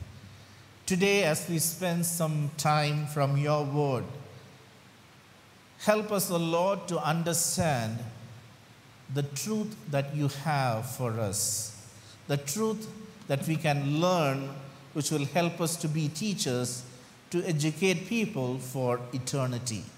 Guide us as we learn from the experience that we can take from your word. In Jesus' name, amen. Well, I need to tell you that some of the points that I would be sharing with you today is not directly from what I have prepared, but it is shared with one of my very good mentor and friend, uh, Dr. John Wesley Taylor V. Presently, he is serving as the president of Andrews University. Last week, I wrote to him and he shared with me a few of the slides, and I have to fill in with the rest so that we can have a wonderful knowledge about what the word of lo- the Lord will speak to us. Second Kings chapter 6, verse 1 to 7. I want all of you to turn your Bibles to the book of Second Kings. It's in the Old Testament. For those who brought your Bible, Second Kings chapter 6, verse 1 to 7.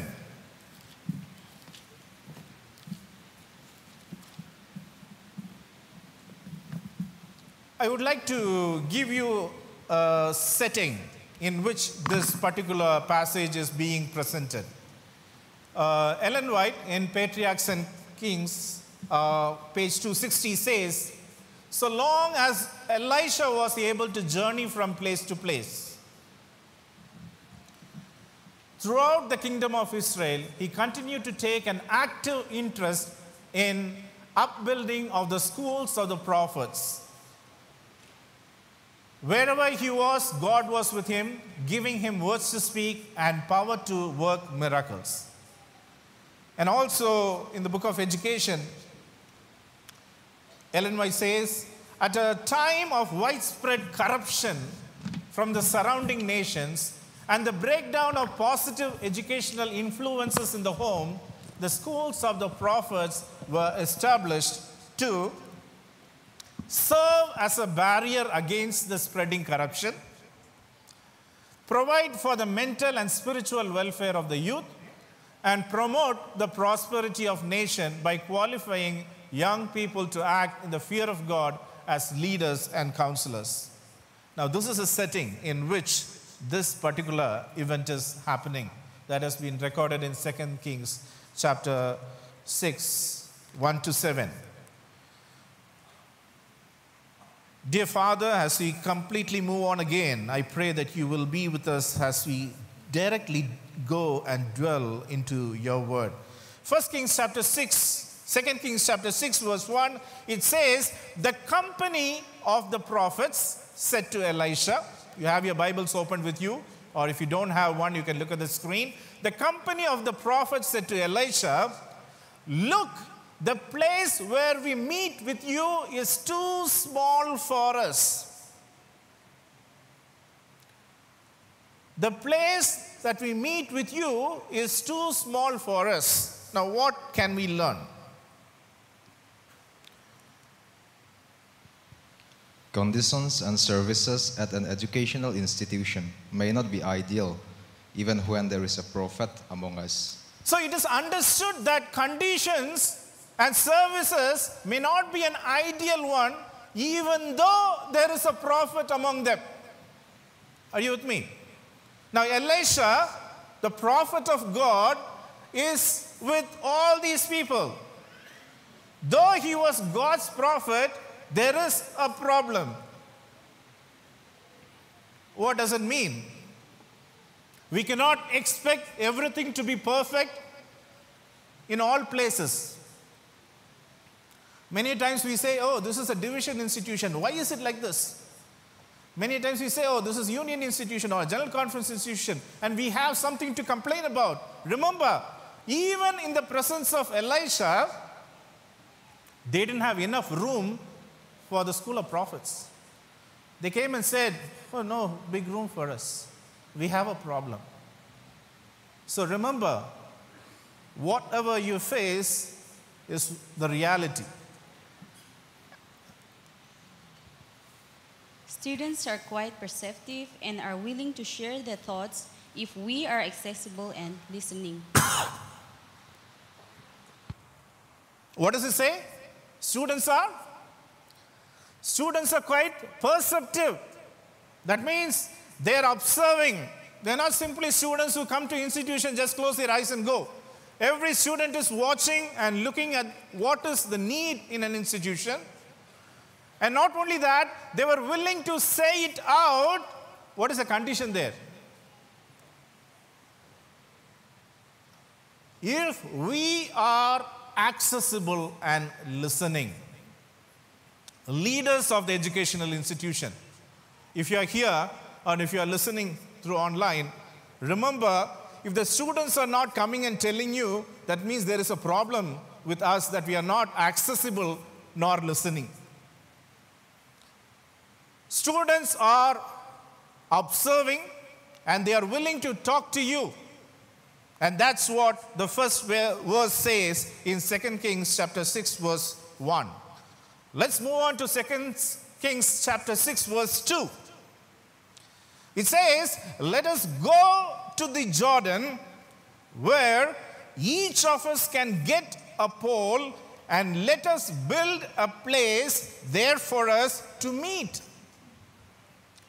And Elisha said, Go. Elisha said, Go.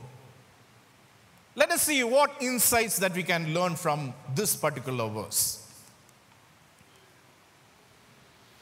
Students can be creative problem solvers whose ideas should be welcomed and valued. So, what did the students do? We don't have a room, so what do we do? Let's go there, go to Jordan, and let us make a room for us which will be convenient for us. Sometimes the administrators or the leaders of the institution or as even as educators or teachers sometimes we don't tend to get solution for a problem but our students are very creative they can come up with a solution and mind you their solutions should be welcomed and valued. Then we become real educators in the presence of God. Why? What did Elisha say? Go. Elisha said, Go. Immediately go. Consequently, leaders at educational institutions should not view students' concern and initiative as a threat, but as an opportunity. Yes, we should not see when students bring in valuable suggestions let us not see it as a threat. Let us not see it as a threat, but as an opportunity to relate to the student and to help the student body. Let's move on to verse number three. By the way, there are seven verses. We are going deep into the insights what it can give us as educators, leaders, administrators, and also the members of the church. Verse number three, it says, Then one of them said, Won't you please come with your servants? And what did Elisha say? I will. I will. Not only he said, You go and do your work. And when they asked him to come along, Elisha said, Yes, I will come. Yes, I will come. Let us see what insights we can learn from here. Students value relationships and community, and especially educators who can serve as mentors. Students, I hope you all agree with me. You are looking for your teachers to come along with you as mentors to help you learn better than you being left alone. What do you say, students? Right? You want your teachers to be as your mentors, to help you learn more, to help you to become part of problem solving. Leaders should be willing to go with students rather than always expecting students to go with their ideas and plan. That's another important insight. What is it?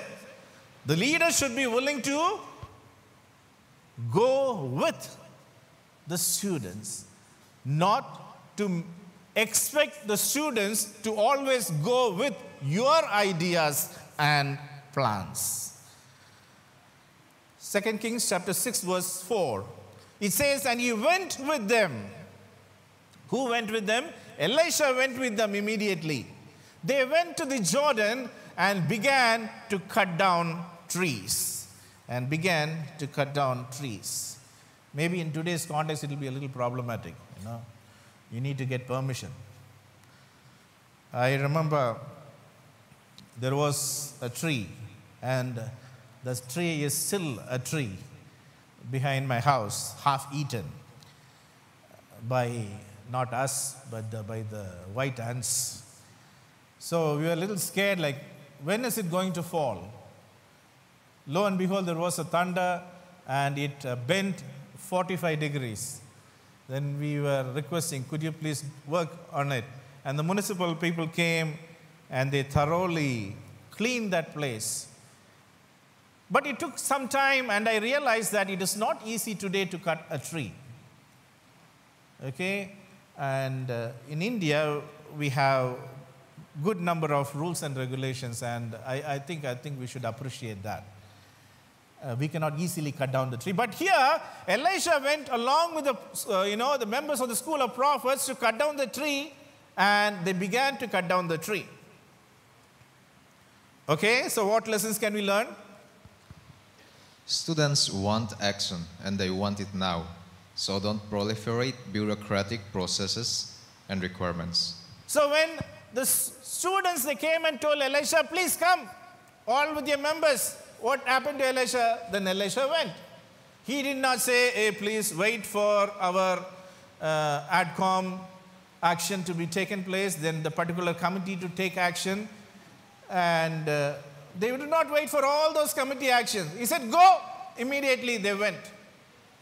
Sometimes we need to do it.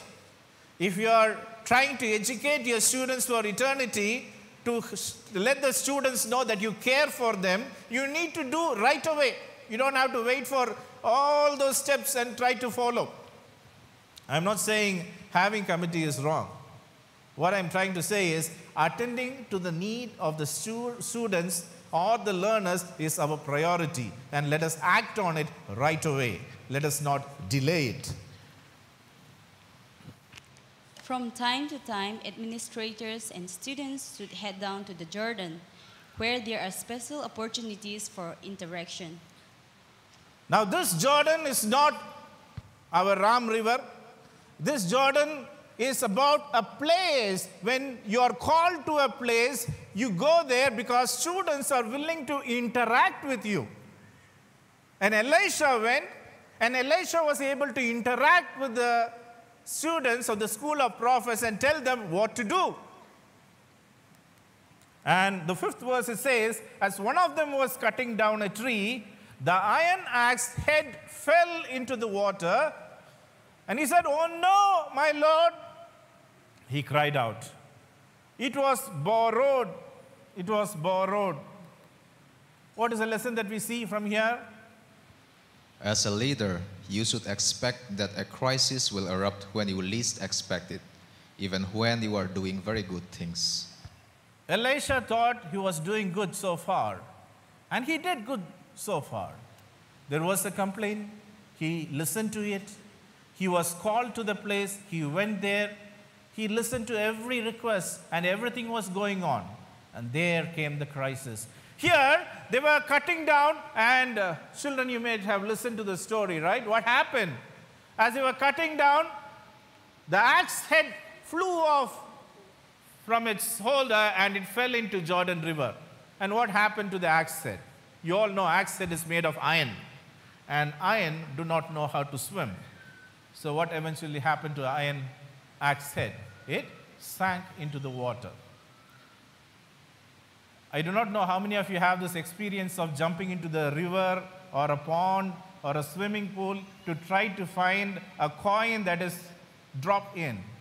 Just for the sake of fun, many times you must have tried, right?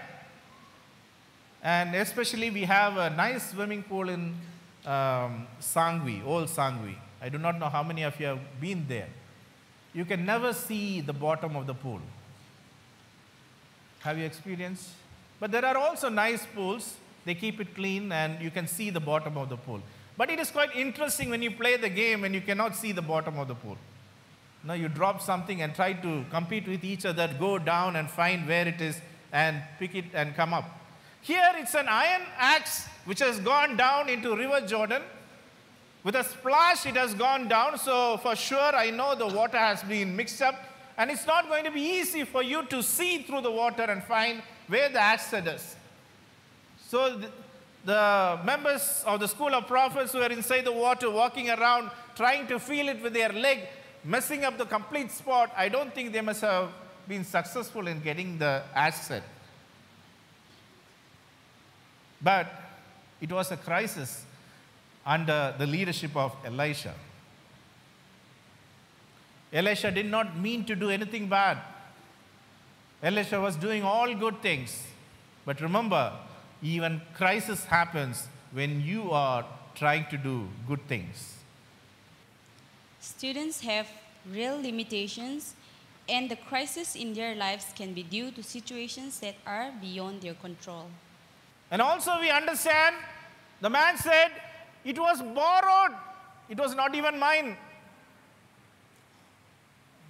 It was borrowed. It's interesting in an educational institution like this, where we have people from all parts of life coming together. Borrowing is common. I don't want to go to an extreme example, but just uh, example from the hostel life. You may see someone wearing a red shirt this week, and the following week you can see another person wearing the same red shirt. And the following week, maybe another person wearing the same red shirt. That's hostel life. Sometimes it is intentional, sometimes it is not. Sometimes people know where you dry your clothes. Well, here in this story, it's not that particular case. It's a case of borrowing because this person did not have an axe. So he borrowed an axe head and he lost it. And we need to understand, as educators, we need to meet with also people who do not have access to everything that they need in life. Last two verses. 2 Kings chapter 6, verse 6, it says, The man of God asked, Where did it fall? Where did it fall? And when he showed him the place, Elisha cut a stick and threw it there and made the iron float. The lesson? An effective leader focuses on finding solutions, not on assigning blame for the problems.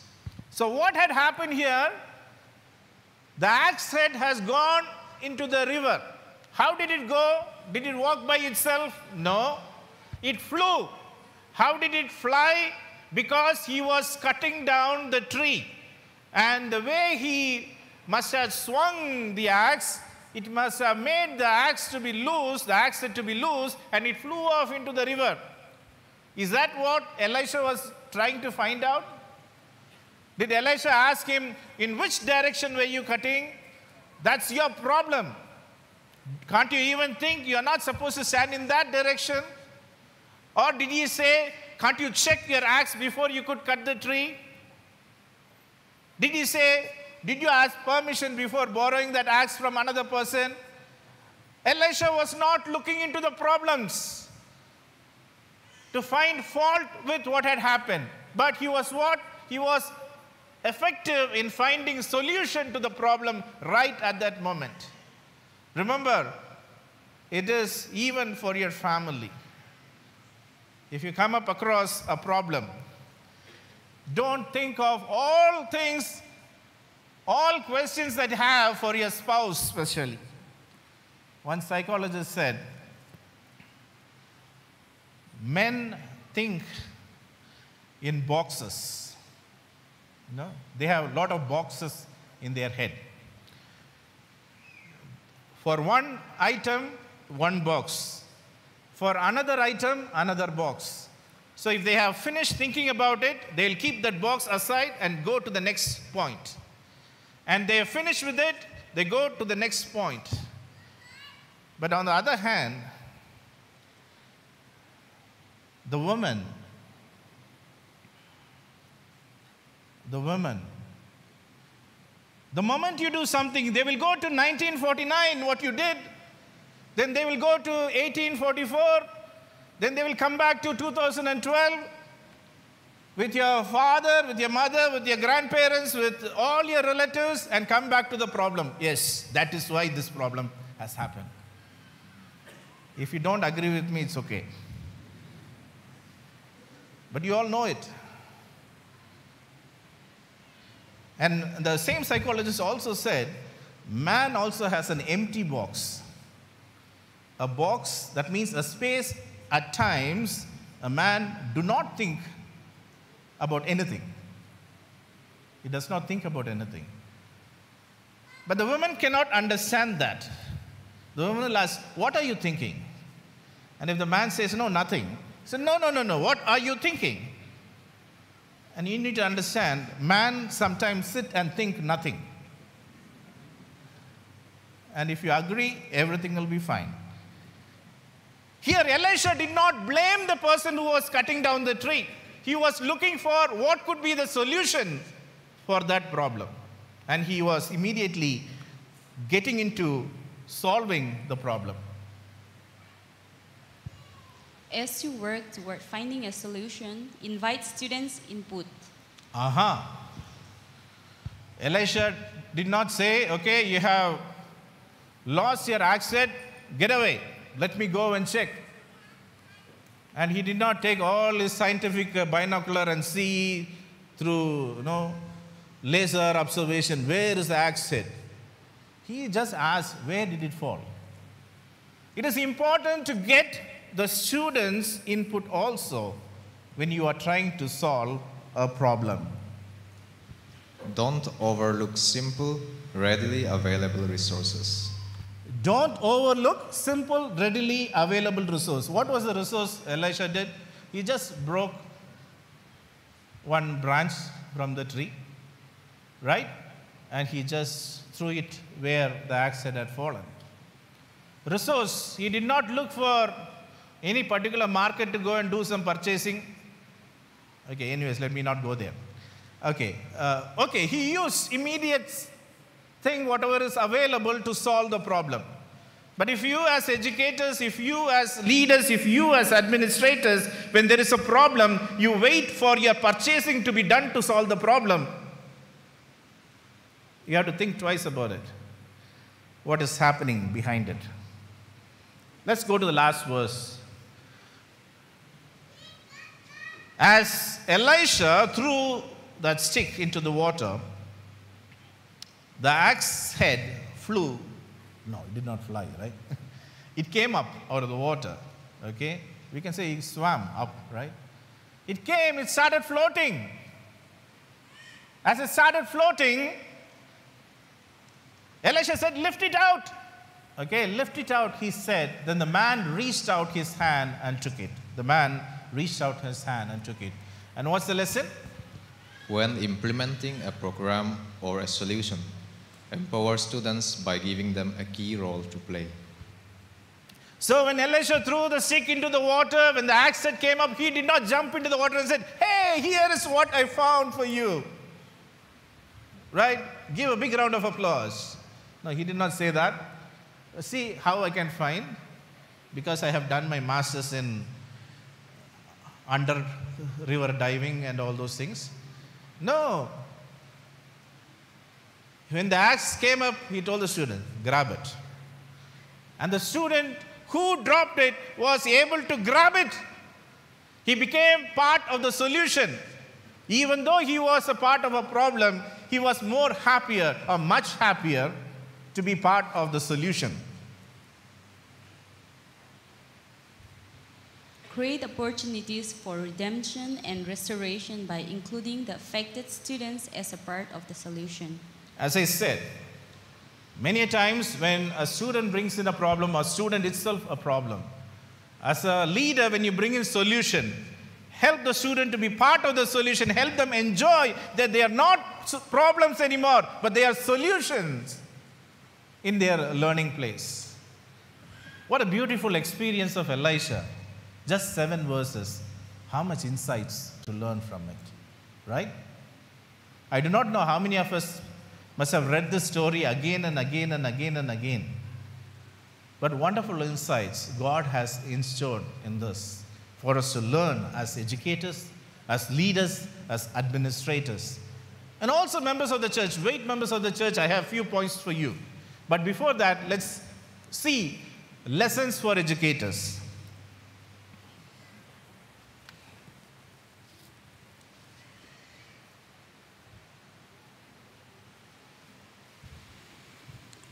Ch- approachable.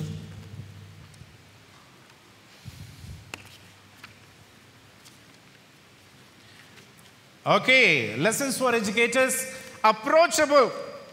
As an educator, the first lesson is you should be approachable.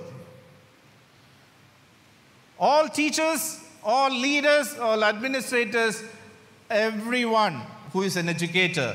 So, the first point is we should be approachable. Many times I ask in my class, tell me something. As soon as you entered into my class, what did you think of this class? Many times, or most of the times, I get this answer again and again. So I think it's a, a reliable answer or a valid answer. He says, scary. Your class looks scary.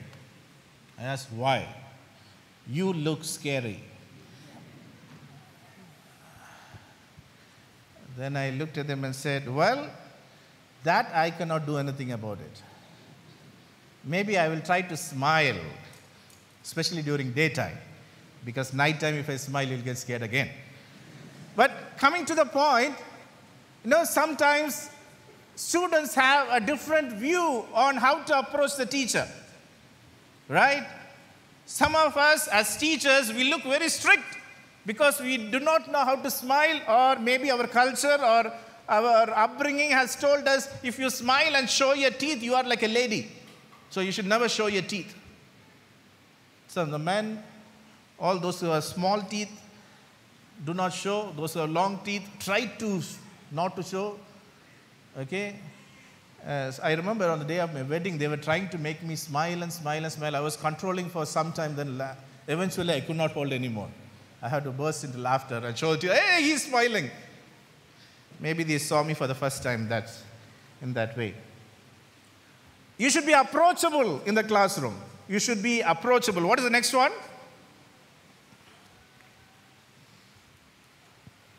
Listener. Okay, you should be a listener.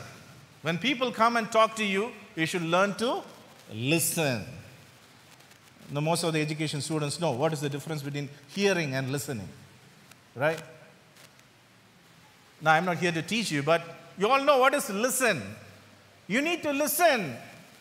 Give respect to the one who is speaking to you and understand what they are trying to talk to you and respond, communicate with them. Friendly. And be friendly with your students. Okay? Be friends with your students. Then only the students would like to come to you and would like to pour out everything. I have a lot of experiences with our young people here at Spicer. There are many things that they do not like to ex- expose it to their parents. But when you are a friendly teacher, they will come and talk to you about everything, which they will try to hide even with their parents. Because you are friendly, and you need to be friendly as an educator. Use IFL.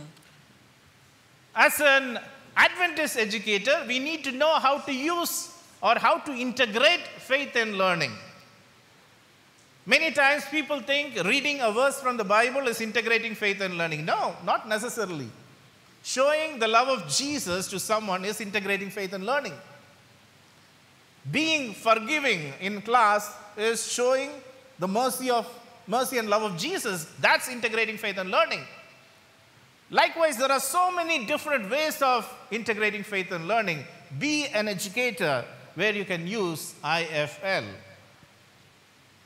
Supportive. And then be supportive to your students.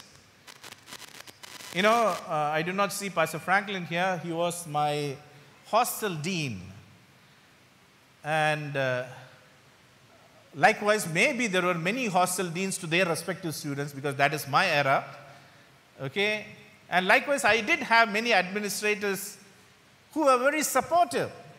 If not for them, many of us will not be where we are. They were very supportive in helping on grooming and directing in the way we should go rather than sticking onto the policies and cutting you down right there. As an educator, we need to be supportive. Sympathetic, yes, we need to understand. Not only being sympathetic, but also empathetic too. Encouraging mentor. Yes, encouraging mentor. How much do we encourage? Especially uh, after COVID, many times we have seen the challenges what COVID had brought to us, and many times we do not know how to handle the situation. But teachers who are educators, when they try to be encouraging, we feel better. When administrators also they do that, we feel better. Last but not the least, always as an educator, let the student know that you love them not because you love them, you love them because the Lord Jesus Christ loves them. Though you may come from different place of the world, though you may speak different language, though you may look different, Jesus loves each and every one of you in the same way that he has loved everyone. Well, these are some of, some of the lessons for the educators. Let's move on to lessons for leaders. Let's let me quick.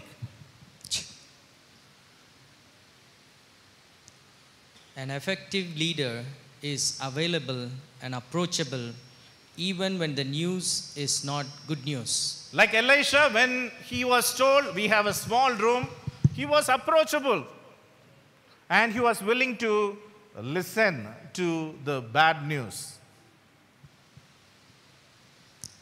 An effective leader is not threatened by bright ideas from the younger generation. Yes, as leaders, we should always understand and grasp the ideas from younger generation. An effective leader seeks opportunities for fellowship with students. Yes, that's a very important one. When you fellowship with your learners, when, when you fellowship with your fellow students, they will have a different view or perception about you as a mentor and also the learning process. An effective leader is willing to join his or her students in grueling tasks at hand. Okay, when a student has to be given a task, join with your student and help the student achieve what they need to achieve. An effective leader is dependable and supportive regardless of circumstances. Yes, an effective leader is dependable and supportive regardless of whatever circumstance. If you are a leader, if someone hesitates to talk to you, then there is a problem. If you are a leader, when you are approached at any time, that means you are giving them enough of what they need. An effective leader focuses on the solution, not on pinpointing the blame.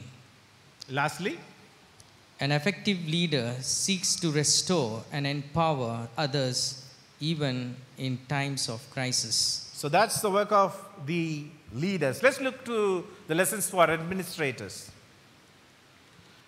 accessible, Again, every administrator should be accessible, a good listener, a good listener, valued individual thinking, should value individual thinking like how Elisha valued the individual thinking. Encourage problem solving, He encouraged problem solving, respectful of new ideas and suggestions, respectful of new ideas and suggestions, willing to take advice from others, willing to take advice from others. These are the lessons for our administrators directly from 2 Kings chapter 6 verse 1 to 7.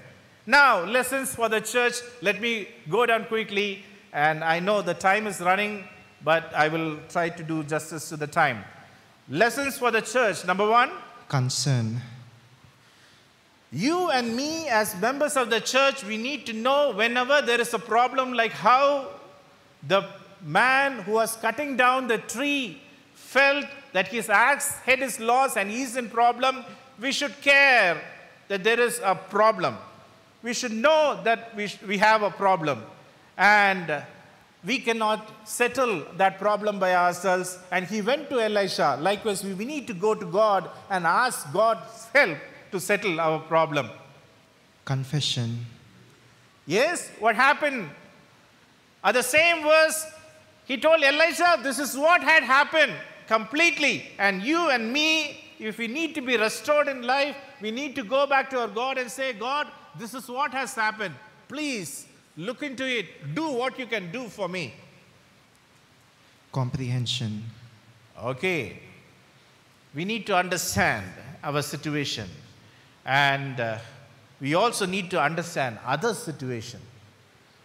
When people come up with certain tragedy or with uh, such challenges, we need to understand them and also accommodate them. Mind you, members of the church, we need to be very careful of borrowing things. Coming back,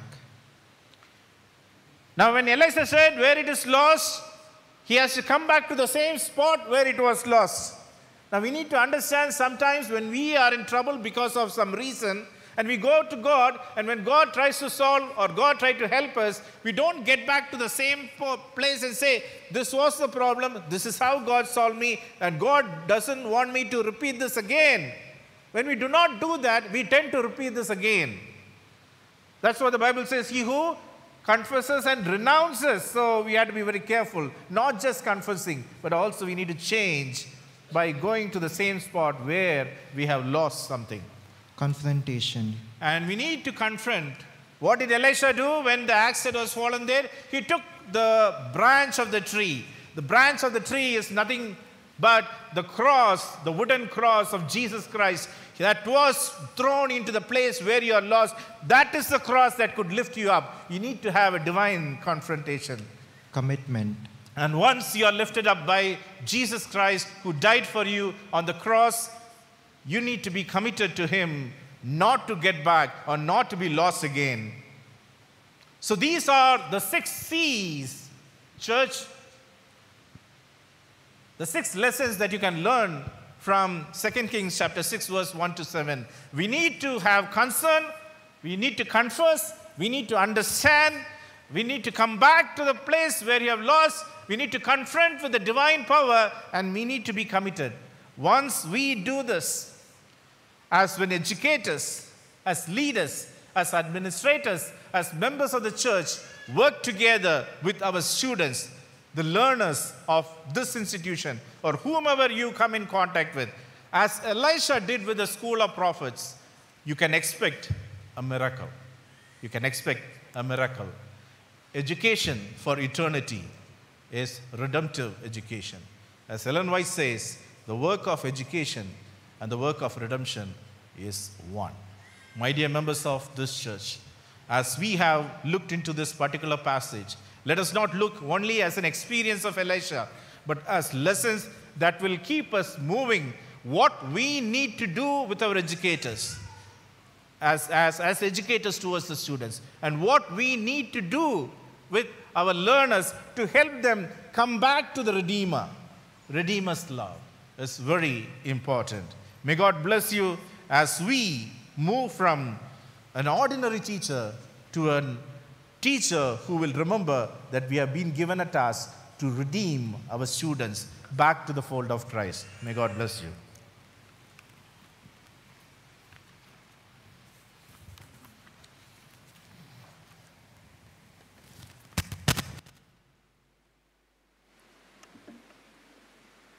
Our hymn of consecration is Give of Your Best to the Master. SDA hymn book number 572. 572. Give of Your Best to the Master.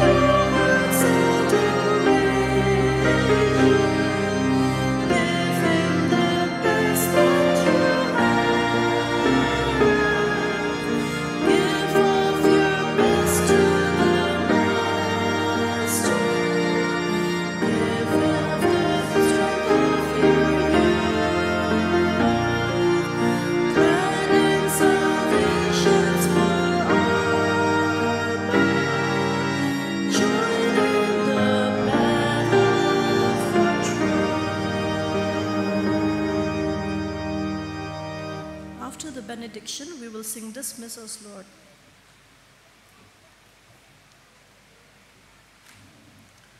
Let us pray.